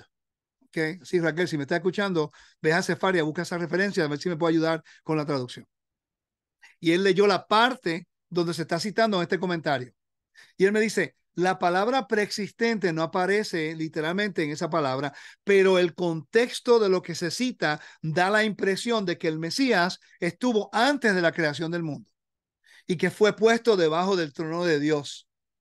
Es interesante exactamente lo que habla la Biblia. Quiere decir que el libro de Hebreos está conectando básicamente que es el Mesías el que va a tener la función de traer eh, la, de la derrota a Satán y a la muerte. ¿Cuántos de ustedes nunca habían escuchado eso? ¿Cuántos de ustedes nunca habían escuchado eso? Vamos a ver. ¿Ok? Entonces, estamos viendo que hay evidencia recuerden que, en el Pesakti Rabatí 36, 161a creo, no dice preexistencia en el hebreo, pero en la forma que, como me dijo Joel, en la forma que está estructurada, la, la eh, compuesta, te da la impresión de que ese Mesías existía antes de la creación del mundo. ¿Ok? Bien interesante. Entonces, lo mismo que habla la Biblia. Vamos a seguir, porque hay más versículos. La evidencia establece la verdad. ¿Ok? Entonces dice acá, ya que yo hablé de ese, bueno, lo voy a quitar aquí. Ah, ok, entonces comenzamos a los versículos que estamos hablando. Dice, Hechos capítulo 13, 30. Pero Dios levantó, le levantó de entre los muertos. Hechos 13, 34. Y en cuanto a que, a que le resucitó de entre los muertos, pero nunca más verá corrupción, Dios ha hablado de esta manera, os daré las santas y fieles misericordias profe, prometidas a David. Vamos a leerlo aquí. Versículo 33 dice, Dios lo ha cumplido a nuestros hijos a resucitar a Yeshua. Ya yo había leído ese. Dice, también está escrito en algunos, en, en Salmo, a, Salmo segundo, segundo Salmo, tú eres mi hijo, te he engendrado hoy. Y en cuanto a aquel que le, y a cuanto a aquel y en cuanto a que resucitó de entre los muertos para nunca más volver a ver corrupción, Dios ha hablado de esta manera. ¿Ok? Lo dice. ¿Ok? Y tiene un propósito. ¿Con qué propósito? Por cual a quien Dios resucitó no vio corrupción. Por tanto, hermanos, sabed porque por medio de él, decías, os he anunciado el perdón de los pecados. Ese es su rol, su función. Anunciar el perdón, remisión que Dios iba a dar a la, humanidad. Y que de todas las cosas que nos pedisteis, ser justificados. Perdón. Dice, por tanto, hermanos, sabéis que por medio de él, de Yeshua, os es anunciado el perdón, áfesis, de los pecados. Y que de todas las cosas de que no pudiste ser justificados por medio de la ley de Moisés, por medio de él, todo aquel que cree es justificado. ¿Por qué dice eso? Porque la Torah, por eso es que el libro de Hebreos capítulo 9 dice que las ofrendas diarias no podía quitar el propósito, la función y el rol que Yeshua vino a hacer.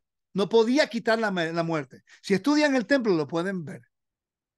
El templo te lo enseña. No había solución para la muerte en los sacrificios, solamente el perdón de Dios en el día de expiación. Y por eso es que el, libro de Hebreos está, está compuesto en el contexto del día de expiación, porque el tema es consistente. Tiene que haber un sumo sacerdote, pero este sumo sacerdote vive para siempre. Fue resucitado. Él proviene de acá. Él es la imagen de Dios. Se hizo menor de los ángeles por un tiempo ¿Con qué propósito? Para que entonces a través del último Adán Dios pudiera restaurar toda la humanidad. Y después que lo resucita, le da honor y gloria y lo pone a su mano derecha, esperando hasta que sus enemigos sean puestos por estrado de sus pies y él va a venir a reinar cuando venga en el milenio. Cuando él regrese en su segunda venida, entonces el templo va a ser construido. Él es restaurado y el templo va a ser restaurado. Yo pienso que si seguimos la secuencia de los eventos, vamos a entenderlo mejor.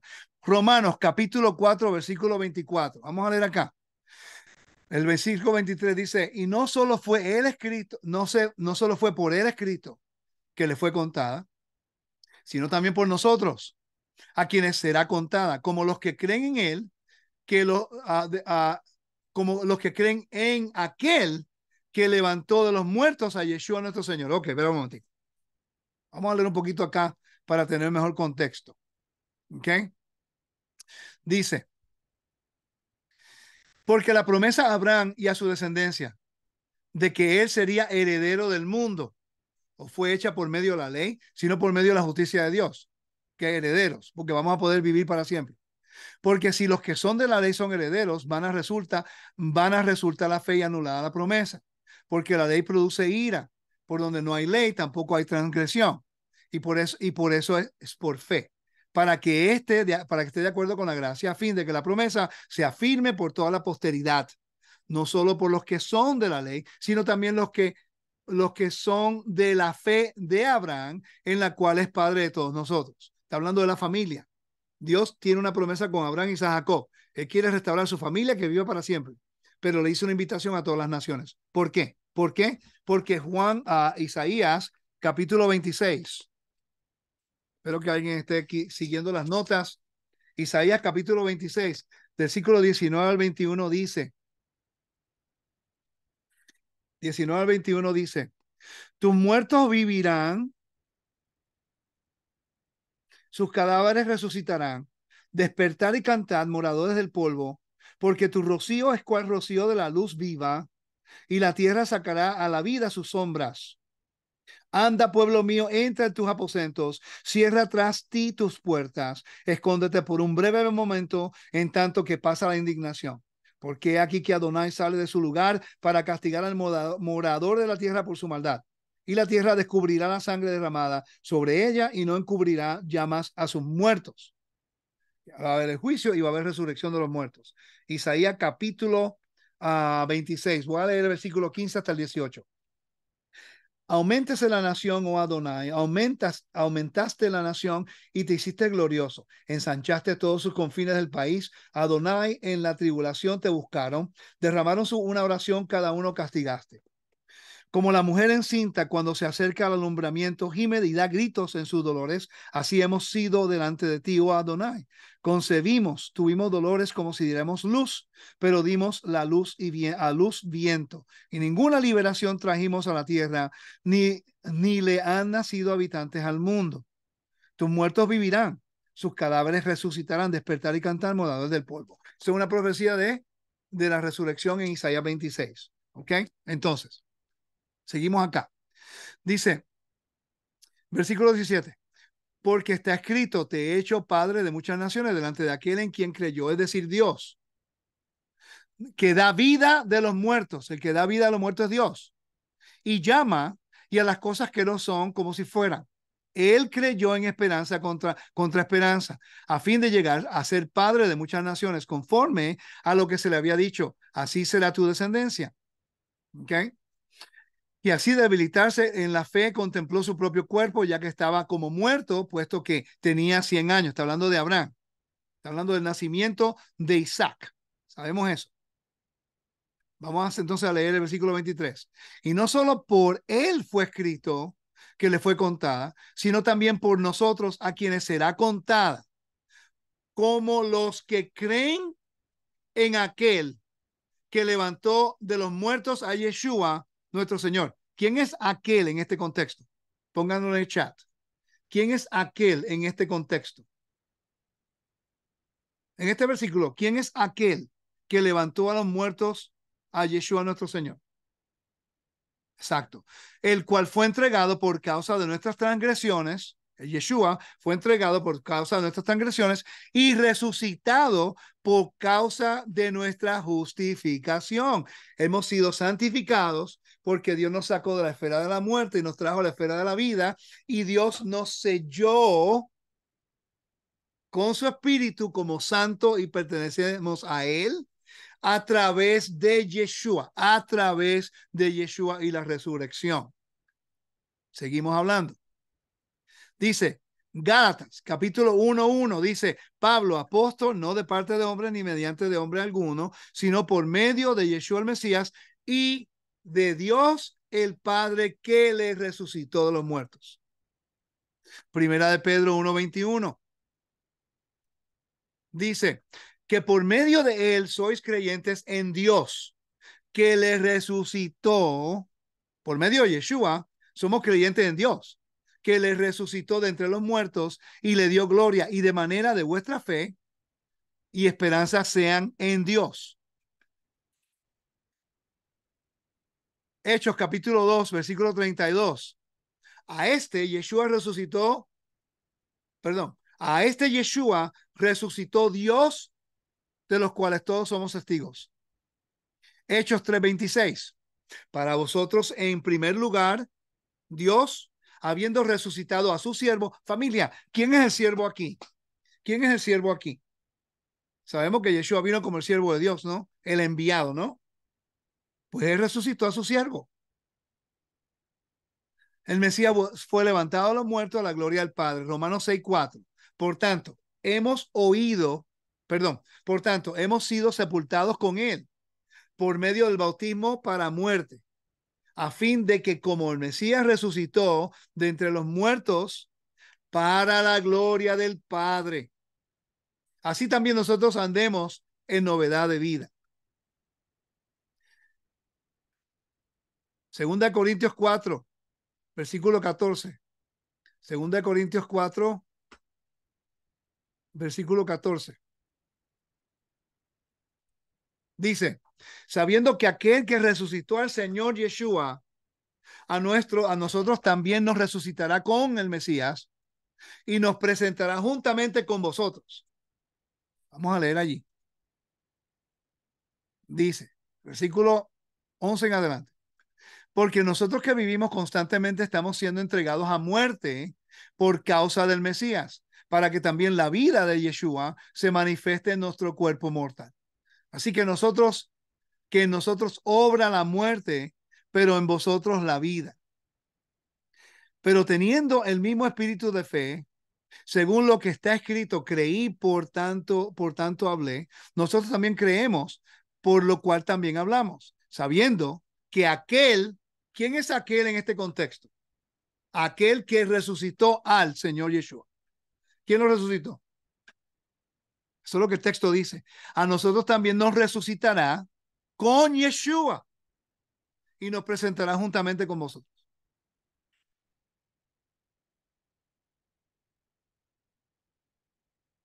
¿Qué? Otro versículo. Primera Tesalonicenses 1.10. Primera Tesalonicenses 1.10. Y esperar de los cielos a su Hijo, al cual resucitó de entre los muertos. Vamos a leer ese. El versículo 1 en adelante. Dice, Pablo, Silvano y Timoteo a la iglesia de Tesalonicenses, en Dios Padre y el Señor Yeshua el Mesías, gracia, paz a vosotros. Siempre damos gracias a Dios por todos vosotros, haciendo mención de vosotros en nuestras oraciones, teniendo presente sin cesar delante de nuestro Dios y Padre vuestra obra de fe, vuestro trabajo de amor y la firmeza de vuestra esperanza en nuestro Yeshua el Mesías. Sabiendo, hermanos, amados de Dios, su elección de vosotros. Pues vosotros, pues nosotros perdón, pues nuestro evangelio no vino a vosotros solamente en palabras, sino también en poder, en el Espíritu Santo, con la plena convicción, como sabéis qué clase de personas demostramos ser entre vosotros por amor a vosotros. Y vosotros venisteis a ser imitadores de nuestro, de nosotros y del Señor, habiendo recibido la palabra en medio de mucha tribulación con el gozo del Espíritu Santo. De manera que llegasteis a ser un ejemplo para todos los creyentes en Macedonia y en Acaya porque saliendo de vosotros la palabra del Señor ha resonado, no solo en Macedonia y en Acaya, sino también como, como todas partes vuestra fe en Dios ha sido divulgada.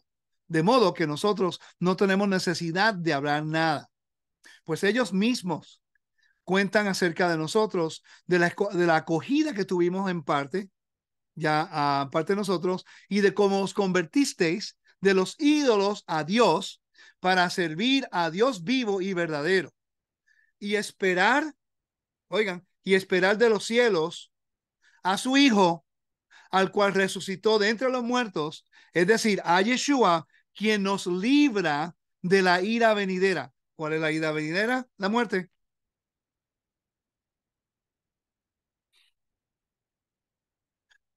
Seguimos. Hebreos 13:20 y el Dios de paz que resucitó de entre los muertos a Yeshua, nuestro Señor, el gran pastor de las ovejas mediante la sangre del pacto eterno. ¿Eh? El gran pastor. Hechos 13, 33. Y Dios lo, lo ha cumplido a nosotros, a nuestros hijos, a resucitar a Yeshua, como también está escrito en los salmos, tú eres mi, hijo mío eres tú, y yo te he engendrado hoy. Romanos capítulo 8, versículo 34. ¿Quién es el que condena? Cristo Yeshua es el que murió, sí, más aún, el que resucitó, el que es, el que además está a la diestra de Dios, el que también intercede por nosotros. Oh, wow, ahí está. Propósito, rol y función. Yeshua que murió, Dios lo resucitó y ahora está a la diestra del Padre. Efesios 1:20, el cual obró en Mesías cuando lo, le resucitó de entre los muertos y se sentó a la diestra del Padre de lugares celestiales. Ayer dijeron que yo estaba escogiendo versos aquí y allá para establecer mi punto. No, familia, yo estoy, yo estoy leyendo 20 versículos que testifican de la misma, del mismo vocabulario. Y en ningún lugar dice, yo me resucité yo mismo. Están utilizando Juan capítulo 2 y Juan capítulo 10. Juan capítulo 2 y Juan capítulo 10. Están utilizando esos versículos y, y están descartando la evidencia de que fue Dios que los resucitó en los muertos. Y honestamente, no entiendo por qué yo tengo que enseñar de esto. Esto es fundamentos básicos. La Biblia lo dice. Filipenses 3:10. Y conocerle a Él el poder de la resurrección y la participación en sus padecimientos, llegando a ser como Él en su muerte. Seguimos leyendo. Colosenses 2.12. Y habiendo, habiendo sido sepultados con él en el bautismo, el cual también habiste resucitado con él por la fe en la acción, en la acción del poder de Dios que le resucitó de los muertos, de entre los muertos.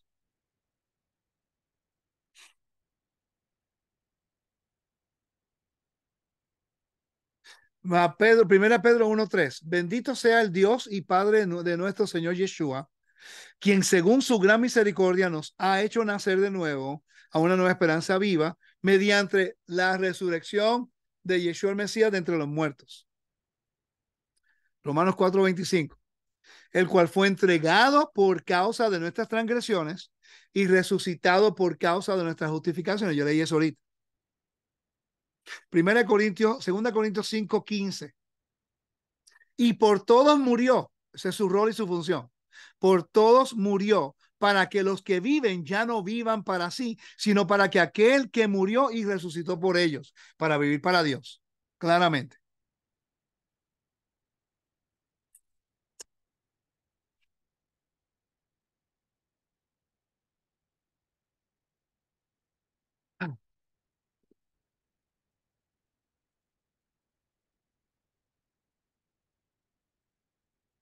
Yo creo que hay tanta evidencia de todo lo que ha ocurrido en referencia a la resurrección. Entonces la pregunta es, basado en lo que usted escuchó hoy, no es que si le caigo bien como maestro o muchos aquí que a lo mejor yo no le caigo bien, no hay problema. Olvídate de lo que tú pienses o quieras pensar de mí. Olvídate de eso. No importa. Este mensaje no es fácil porque estamos lidiando con un tema que no se quiere cubrir. Es fácil debatir, es fácil separarnos, es fácil apuntar el dedo y decir, no, Rico no cree en Yeshua, pero es que todo el tiempo he estado hablando en el Mesías. Lo que estoy tratando de hacer es figurar el contexto bíblico y no dejar que mi propia imaginación cambie el contexto de lo que estoy leyendo. ¿Qué aprendimos hoy? Aprendimos que Hebreos capítulo 1 y 2 claramente no lo dice. Ah, vamos a regresar allí rapidito. Vamos a Hebreos capítulo 2. Vamos a continuar en Hebreos capítulo 2, ¿ok? Para que vean lo que dice aquí. Ahora te va a decir un poquito más acerca del propósito. Dice, versículo 9 en adelante. Estoy aquí. No sé si lo ven bien, pero lo voy a hacer un poquito más grande para que lo puedan ver. ¿Qué? El versículo 9. Dice, pero aquel que fue hecho inferior a los ángeles por un poco, está hablando de Yeshua, a Yeshua, lo vemos coronado de gloria y honor por haber padecido la muerte, pues por la gracia de Dios gustó la muerte para bien de todos. Ya sabemos eso. Convenía en verdad que aquel por quien es todo y para quien es todo llevara muchos hijos a la gloria, perfeccionando mediante el sufrimiento al que iba a guiarlos a la salvación. Por eso el camino a la salvación. Pues santificador y santificados tienen todos el mismo origen. Quiere decir que ahora, si creemos en Yeshua, ¿cuál es la confesión de fe? Vamos allá. Romanos capítulo 10, versículo 9. Ayer lo cité. Wow. ¿Y para qué fue eso? Increíble. Ahora citar la Biblia es un pecado. Increíble. Entonces dice, capítulo 10, versículo 9, que si confesares con tu boca que Yeshua es Adón, Curios, el Señor, el amo, porque Dios lo ha puesto como amo de la tierra. Él va a ser el Señor de la tierra, Rey de reyes y Señor de señores, claramente. Y dice, y crees en tu corazón que Dios le levantó de los muertos, será salvo. Entonces, si no creemos que Dios resucitó a Yeshua a los muertos, ¿seremos salvos? Hmm, interesante pregunta, porque lo dice. Si crees en tu corazón que Dios lo levantó a los muertos, ¿por qué no dice aquí si tú crees en tu corazón que Yeshua se levantó el mismo de los muertos. Pablo sabía mucho de la Biblia. Pablo entendía mucho de esa resurrección. Pablo era un erudito del hebreo. porque él organizó ese fundamento aquí para decir, si crees en tu corazón que Yeshua lo resucitó a los muertos? Tenemos que hacer esa pregunta. Ok, y dice, por eso no se avergüenza de llamarlos hermanos, cuando dice, anunciaré tu nombre a mis hermanos, en medio de la asamblea te alabaré. Y también, en él pondré yo mi confianza. Y nuevamente, he aquí, estoy yo y los hijos que Dios me ha dado. Por tanto, oigan esto, esta es la clave aquí. Por tanto, como los hijos comparten la sangre y la carne, hablando acerca de Yeshua, que así también compartió él las mismas. ¿Quién es él aquí? Pongan en el chat, familia. Vamos a definir estas cosas. Vamos a leer, por tanto, como los hijos comparten la sangre y la carne, hablando de la familia de Israel, que mueren, así también compartió él. ¿Quién es él? ¿Quién es él aquí?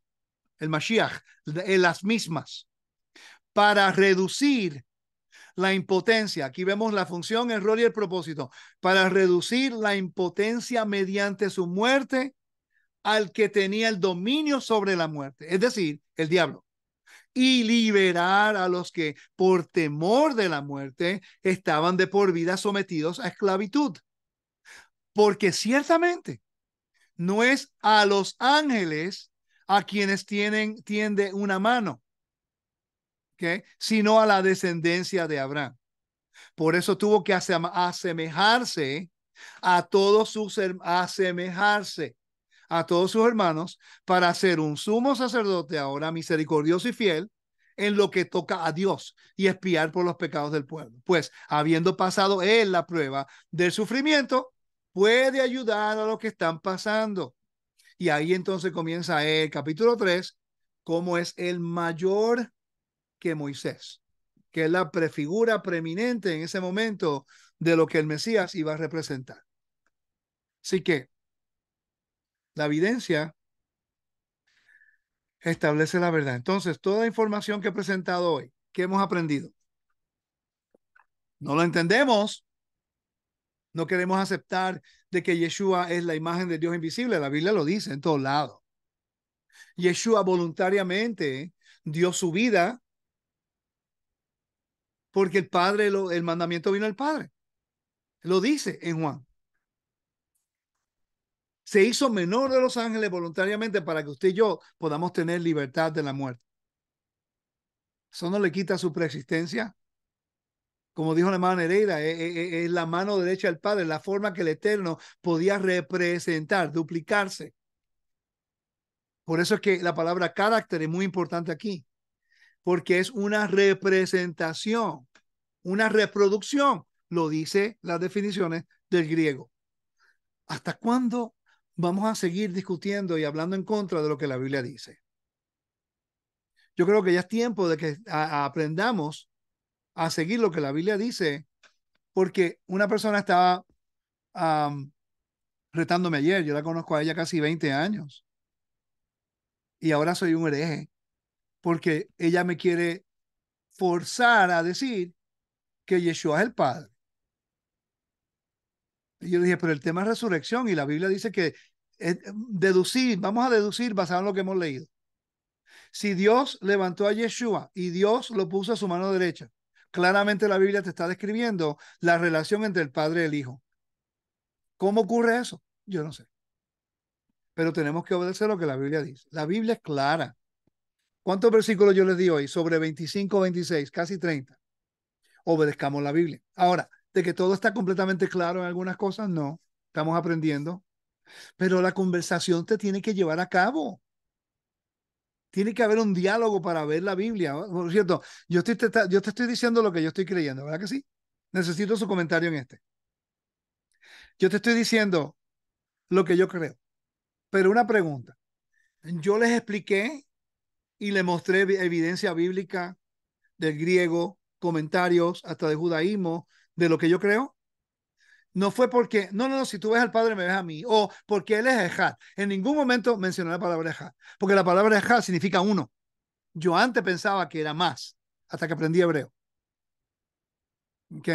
Entonces, el argumento de que si me ves a mí, ves al Padre, o que uh, no, que yo me doy mi vida, yo me la tengo la autoridad, sí, ok, perfecto, lo dice, pero ¿qué significa eso?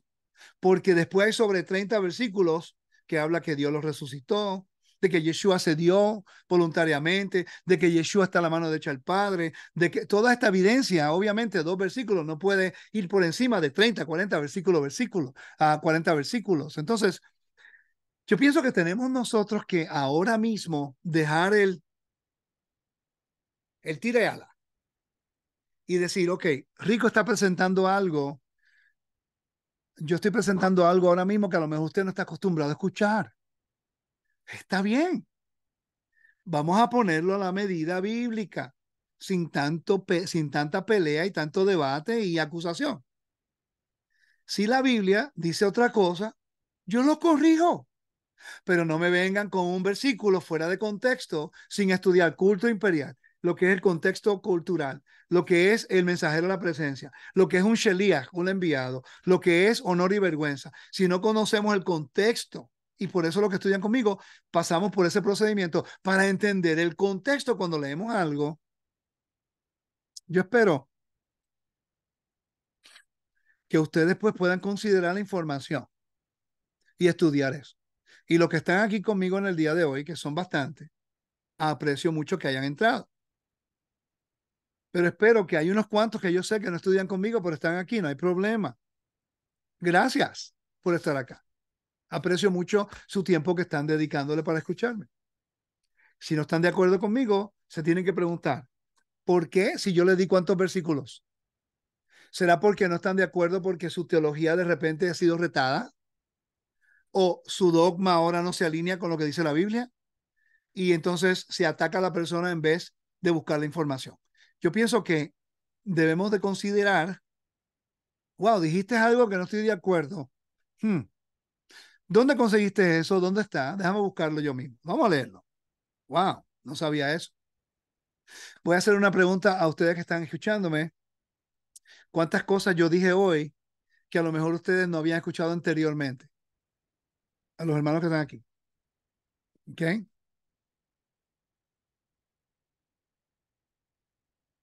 Entonces, pues, ¿por qué seguimos peleando con cosas que no estudiamos? Vamos a estudiarlo y a buscarlo. ¿Ok?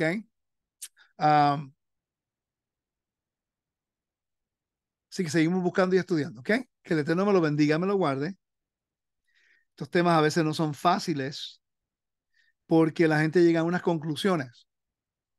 Y lo triste es esto, que el no escuchar el no validar y verificar está guiando a algo un poquito más preocupante, que acusan, minimizan y también afecta en testimonio a una persona. Cuando versículos y versículos y versículos el hecho de que Yeshua fue resucitado por el Padre no le quita su función, su propósito, ni su rol, ni su preexistencia. ¿Ok? Así que el Eterno me lo bendiga, me los guarde y yo espero que esto haya sido edificante para ustedes y que podamos seguir buscando evidencia y validando información. La evidencia establece la verdad. Shalom a todos. Bye bye.